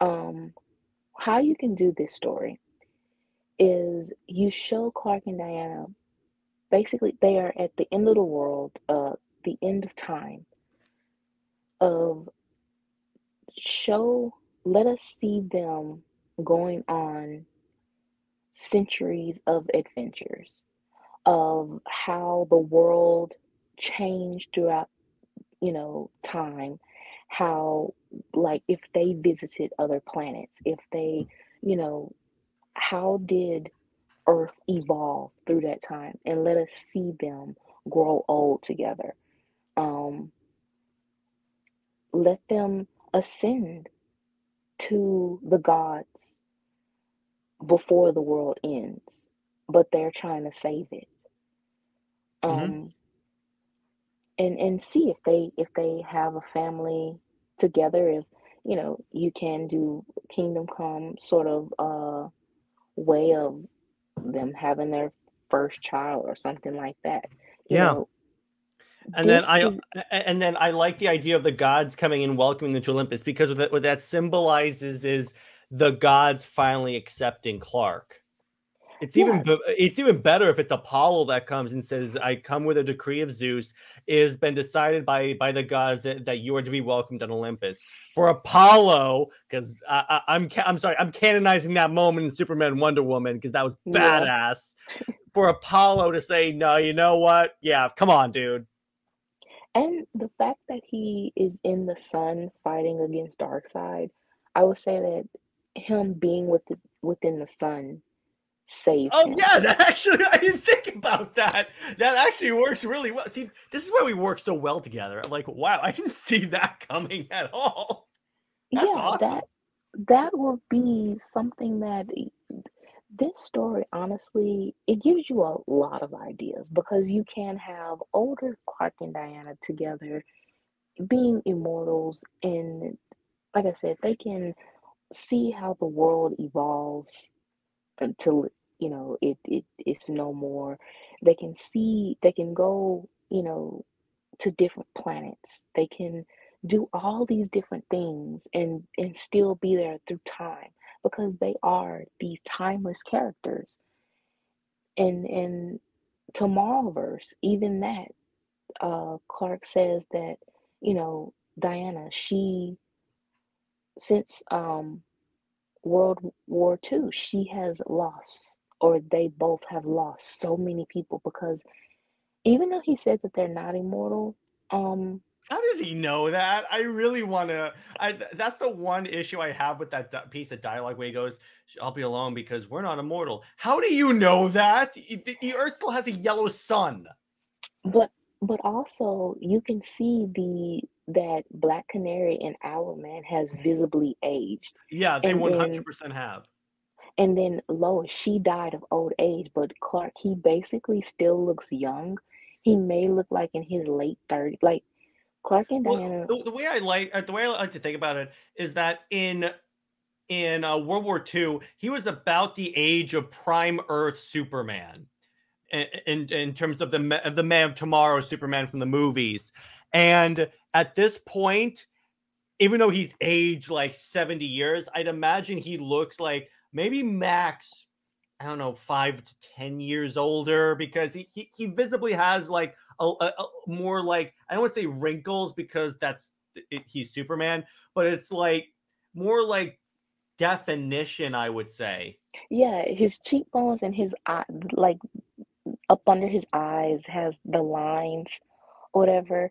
Ironically, he looks and sounds like Henry Cavill. He does look like Henry. and isn't it ironic that Wonder Woman sounds like Gal Gadot? And I think that that was done on purpose. Yes, she Yeah. does have. And fun fact, accent. she played uh she actually played Talia on the Arkham games. Yeah, She's a huge Yeah. DC fan. honestly, I mean, that is good for her to be a DC fan and to be able to um do the different roles and and also She's well great. it's the fact that uh also DC can't afford They can't afford to get new people. That's why so many of those roles went. Uh, uh, some of, those characters just stood around. Yeah, in their interview, they basically said that they there was um the producers said that not only is WB rushing the crisis, um them they wanted to have like 20 movies before the crisis. So I guess that will lead up to maybe 25 in all. But of course, it's only been what t- but it reduced dras- drastically to 10 which crisis is uh three out of the 10 Mm-hmm. And um even before then they only wanted three movies and then crisis. So it would have been just six in all.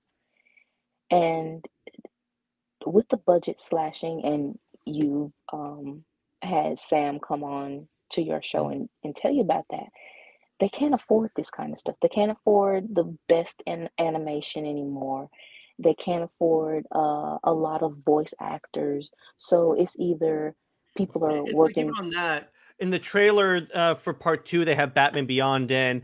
My b- b- buddy and fellow co-host Nick from the Phoenix Press, he brought up that they better have brought back w- Will Friedle to voice them. And in my head, I was like, yeah, eh, they probably didn't because a that would connect it to the DCAU. The other thing is, I don't think they can afford Will Friedle. Well, the thing is, is that he they do want to um bring in.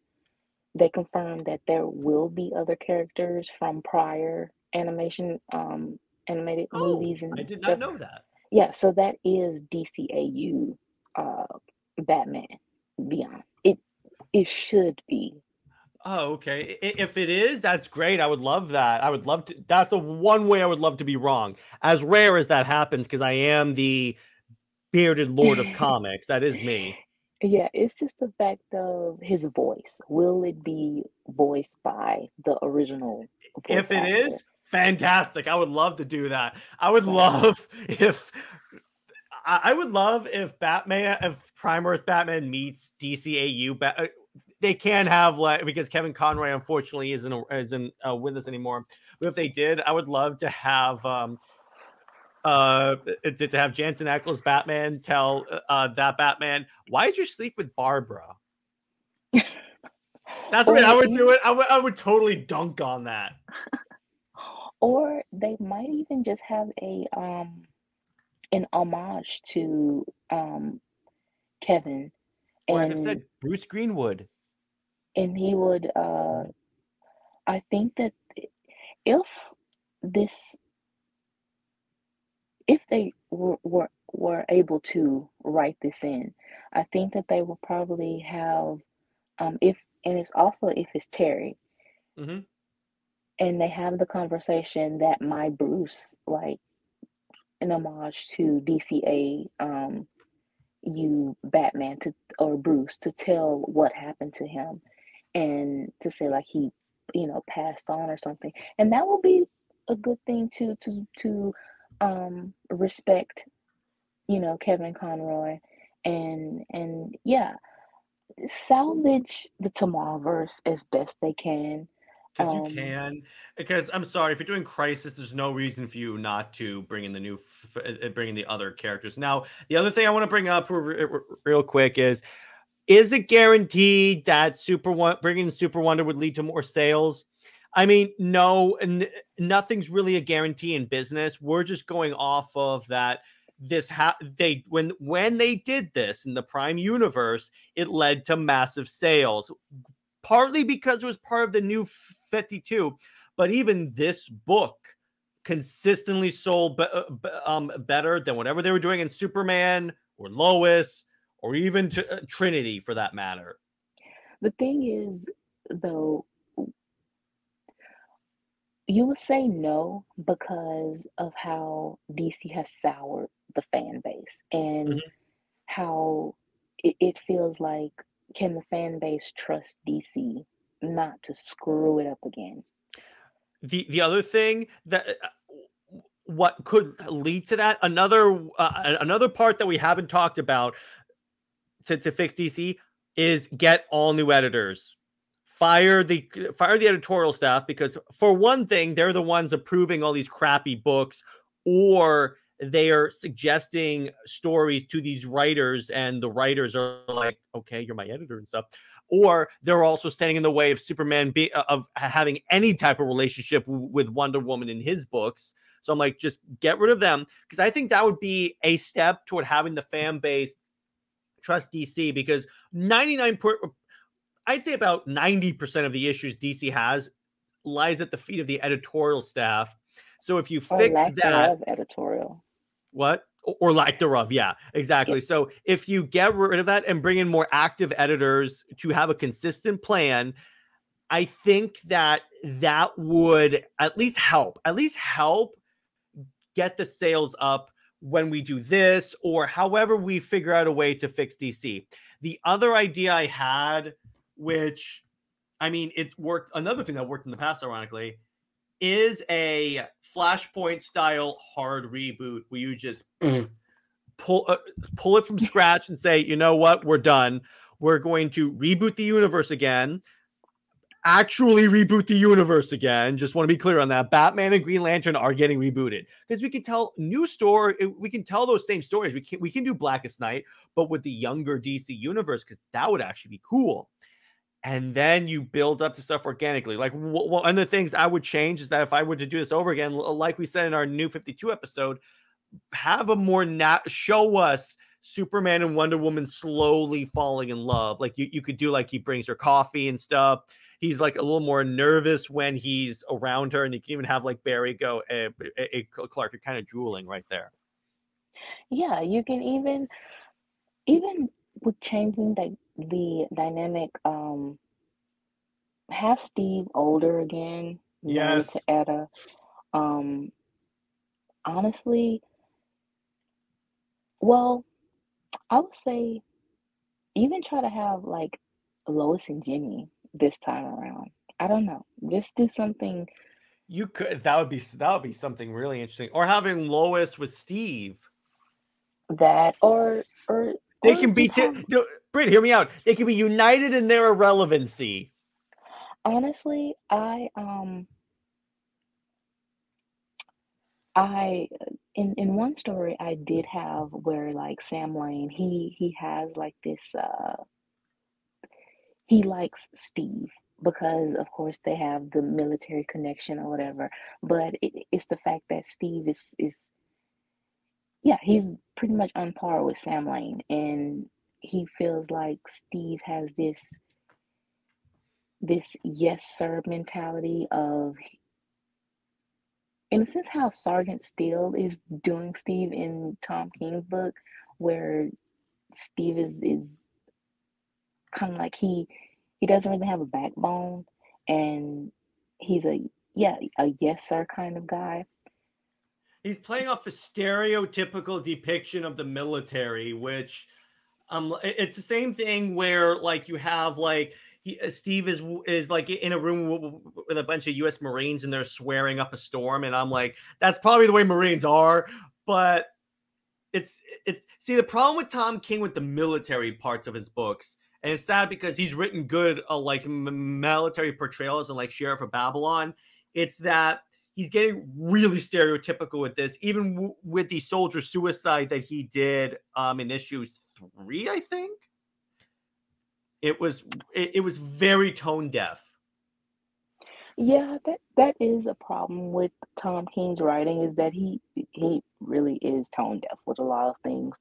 Um and I just think that he he goes very like literal with things and I think that well I I um some people say he tries to be like Alan Moore. He's he's trying to be like modern day So Alan many Moore. writers have tried to be modern day Alan Moore, and even Alan Moore isn't Alan Moore anymore. and and and that's the thing is that you have to find your own voice though. And when you're trying to mimic and someone else's, you know, it can really be bad. And I think Because that here's the thing I know Tom King is a good writer. I've read fantastic books by him, like Mr. Miracle, Sheriff of Babylon, the first half of his Batman run.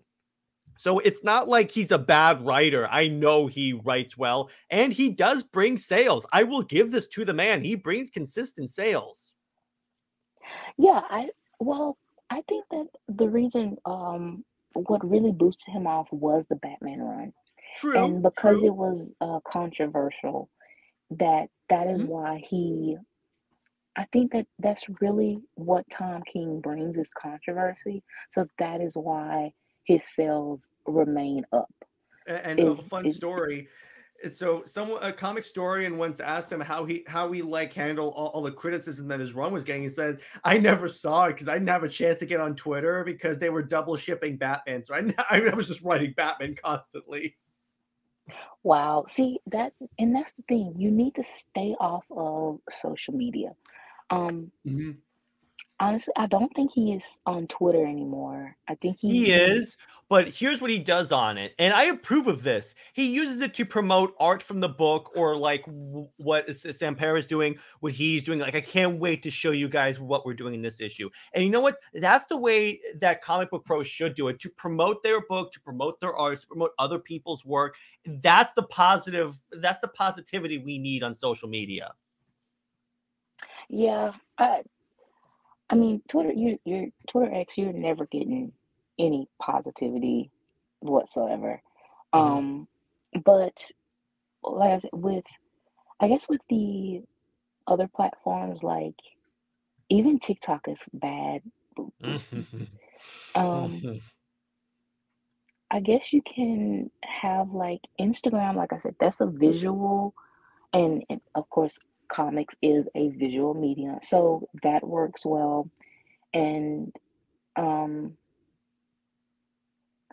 honestly, DC's Instagram has a far bigger following than Twitter too. Mhm. And again, and, and and again, you can have more interactions with the, yeah, the general audience there. They are general fans. They obviously, I mean, you can tell by the comments that they do not read the books, Mhm. like not at all. But at the same time, you can still see a little bit of interest there to to help. Um, I guess the Blue Sky and uh, Threads is a good platform. I don't really. Threads is okay. I, I- recently started posting on that to like promote episodes and stuff. I haven't really gotten that into it on terms of stuff, but apparently it's more positive than, than Twitter. We'll see.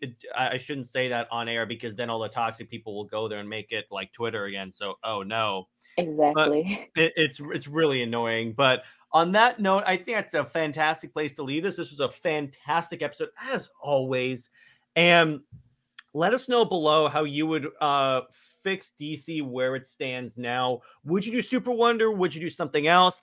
If if DC w- was de- dead set about putting Superman with Wonder Woman again, how how would you deal with Lois? Is, is what I really want to know on that.